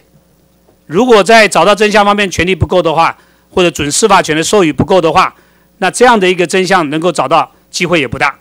所以我们认为这个权力到底要到什么程度，然后会不会侵犯到其他啊行政机关的权利等等，或者三权五权分立加上其他所谓的司法其他部门的这个权利的部分，我想我们可以有更多周延的讨论。啊，最重要的，清算当然不是目的，目的是为了这个社会的和解。所以从这个角度来看，我觉得在这个架构里面或现在促转条例里面，在和解的部分，如何促进和解部分，未来或许我们在这个公听会里面可以有更多呃琢磨的地方。啊，总而言之，我觉得促进转型正义条例它的正当性、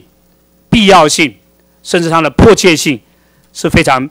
明显而立即的，由于在座我们看到几位啊七十岁、八十岁以上，一辈子为了这个转型正义，为了过去的政治受难，在努力打拼的这群人，他们已经等了二十年了，等了三十年了，我们还要让他们等多久？我们这一代，正因为是我们这一代没有过去历史的包袱，所以我们更有这样的一个权利跟义务，跟那个超然的立场去处理转型正义的问题。因此，我们认为促转条例在经过几场公听会之后，应该尽速的来进行法律的相关的一个攻防，尽快的让这个法律能够适度的通过。因为人民对我们有期待，社会对我们期待，历史对我们有期待。以上，谢谢。好，谢谢。呃，我们今天包括到场的十四位专家学者的发言啊，对不起，十三位啊。十三位，好，我们都会列入记录。另外，呃，没有到场的吴威志教授也提供了书面记意见，我们一并啊列入记录。好，我们都会刊登立法院的公报，然后我们会特别制作公听会的报告，那么送交本院全体委员跟今天出席跟列席的人员参考。另外，行政院包括行政院，包括原住民族委员会、国发会档案局。国立中正纪念堂管理处、国家人权博物馆筹备处所提的书面报告都会列入记录。那今天对我们来说是第一场的公听会，我们礼拜三上午会有第二场公听会。那么接下来会有本会的另外一位召集委员林维洲委员，他会来主持两场的公听会。那么包括今天，包括每一场公听会每一位所提供的宝贵意见，即便有一些我们可能与会的各位贵宾啦、这个可能不一定接受彼此的意见，但是对我们立法院来讲，每一位所提供的意见，都是从不同的角度来看今天我们讨论这个议题，都非常的宝贵，我们都非常的珍惜跟感谢。好，谢谢各位，散会。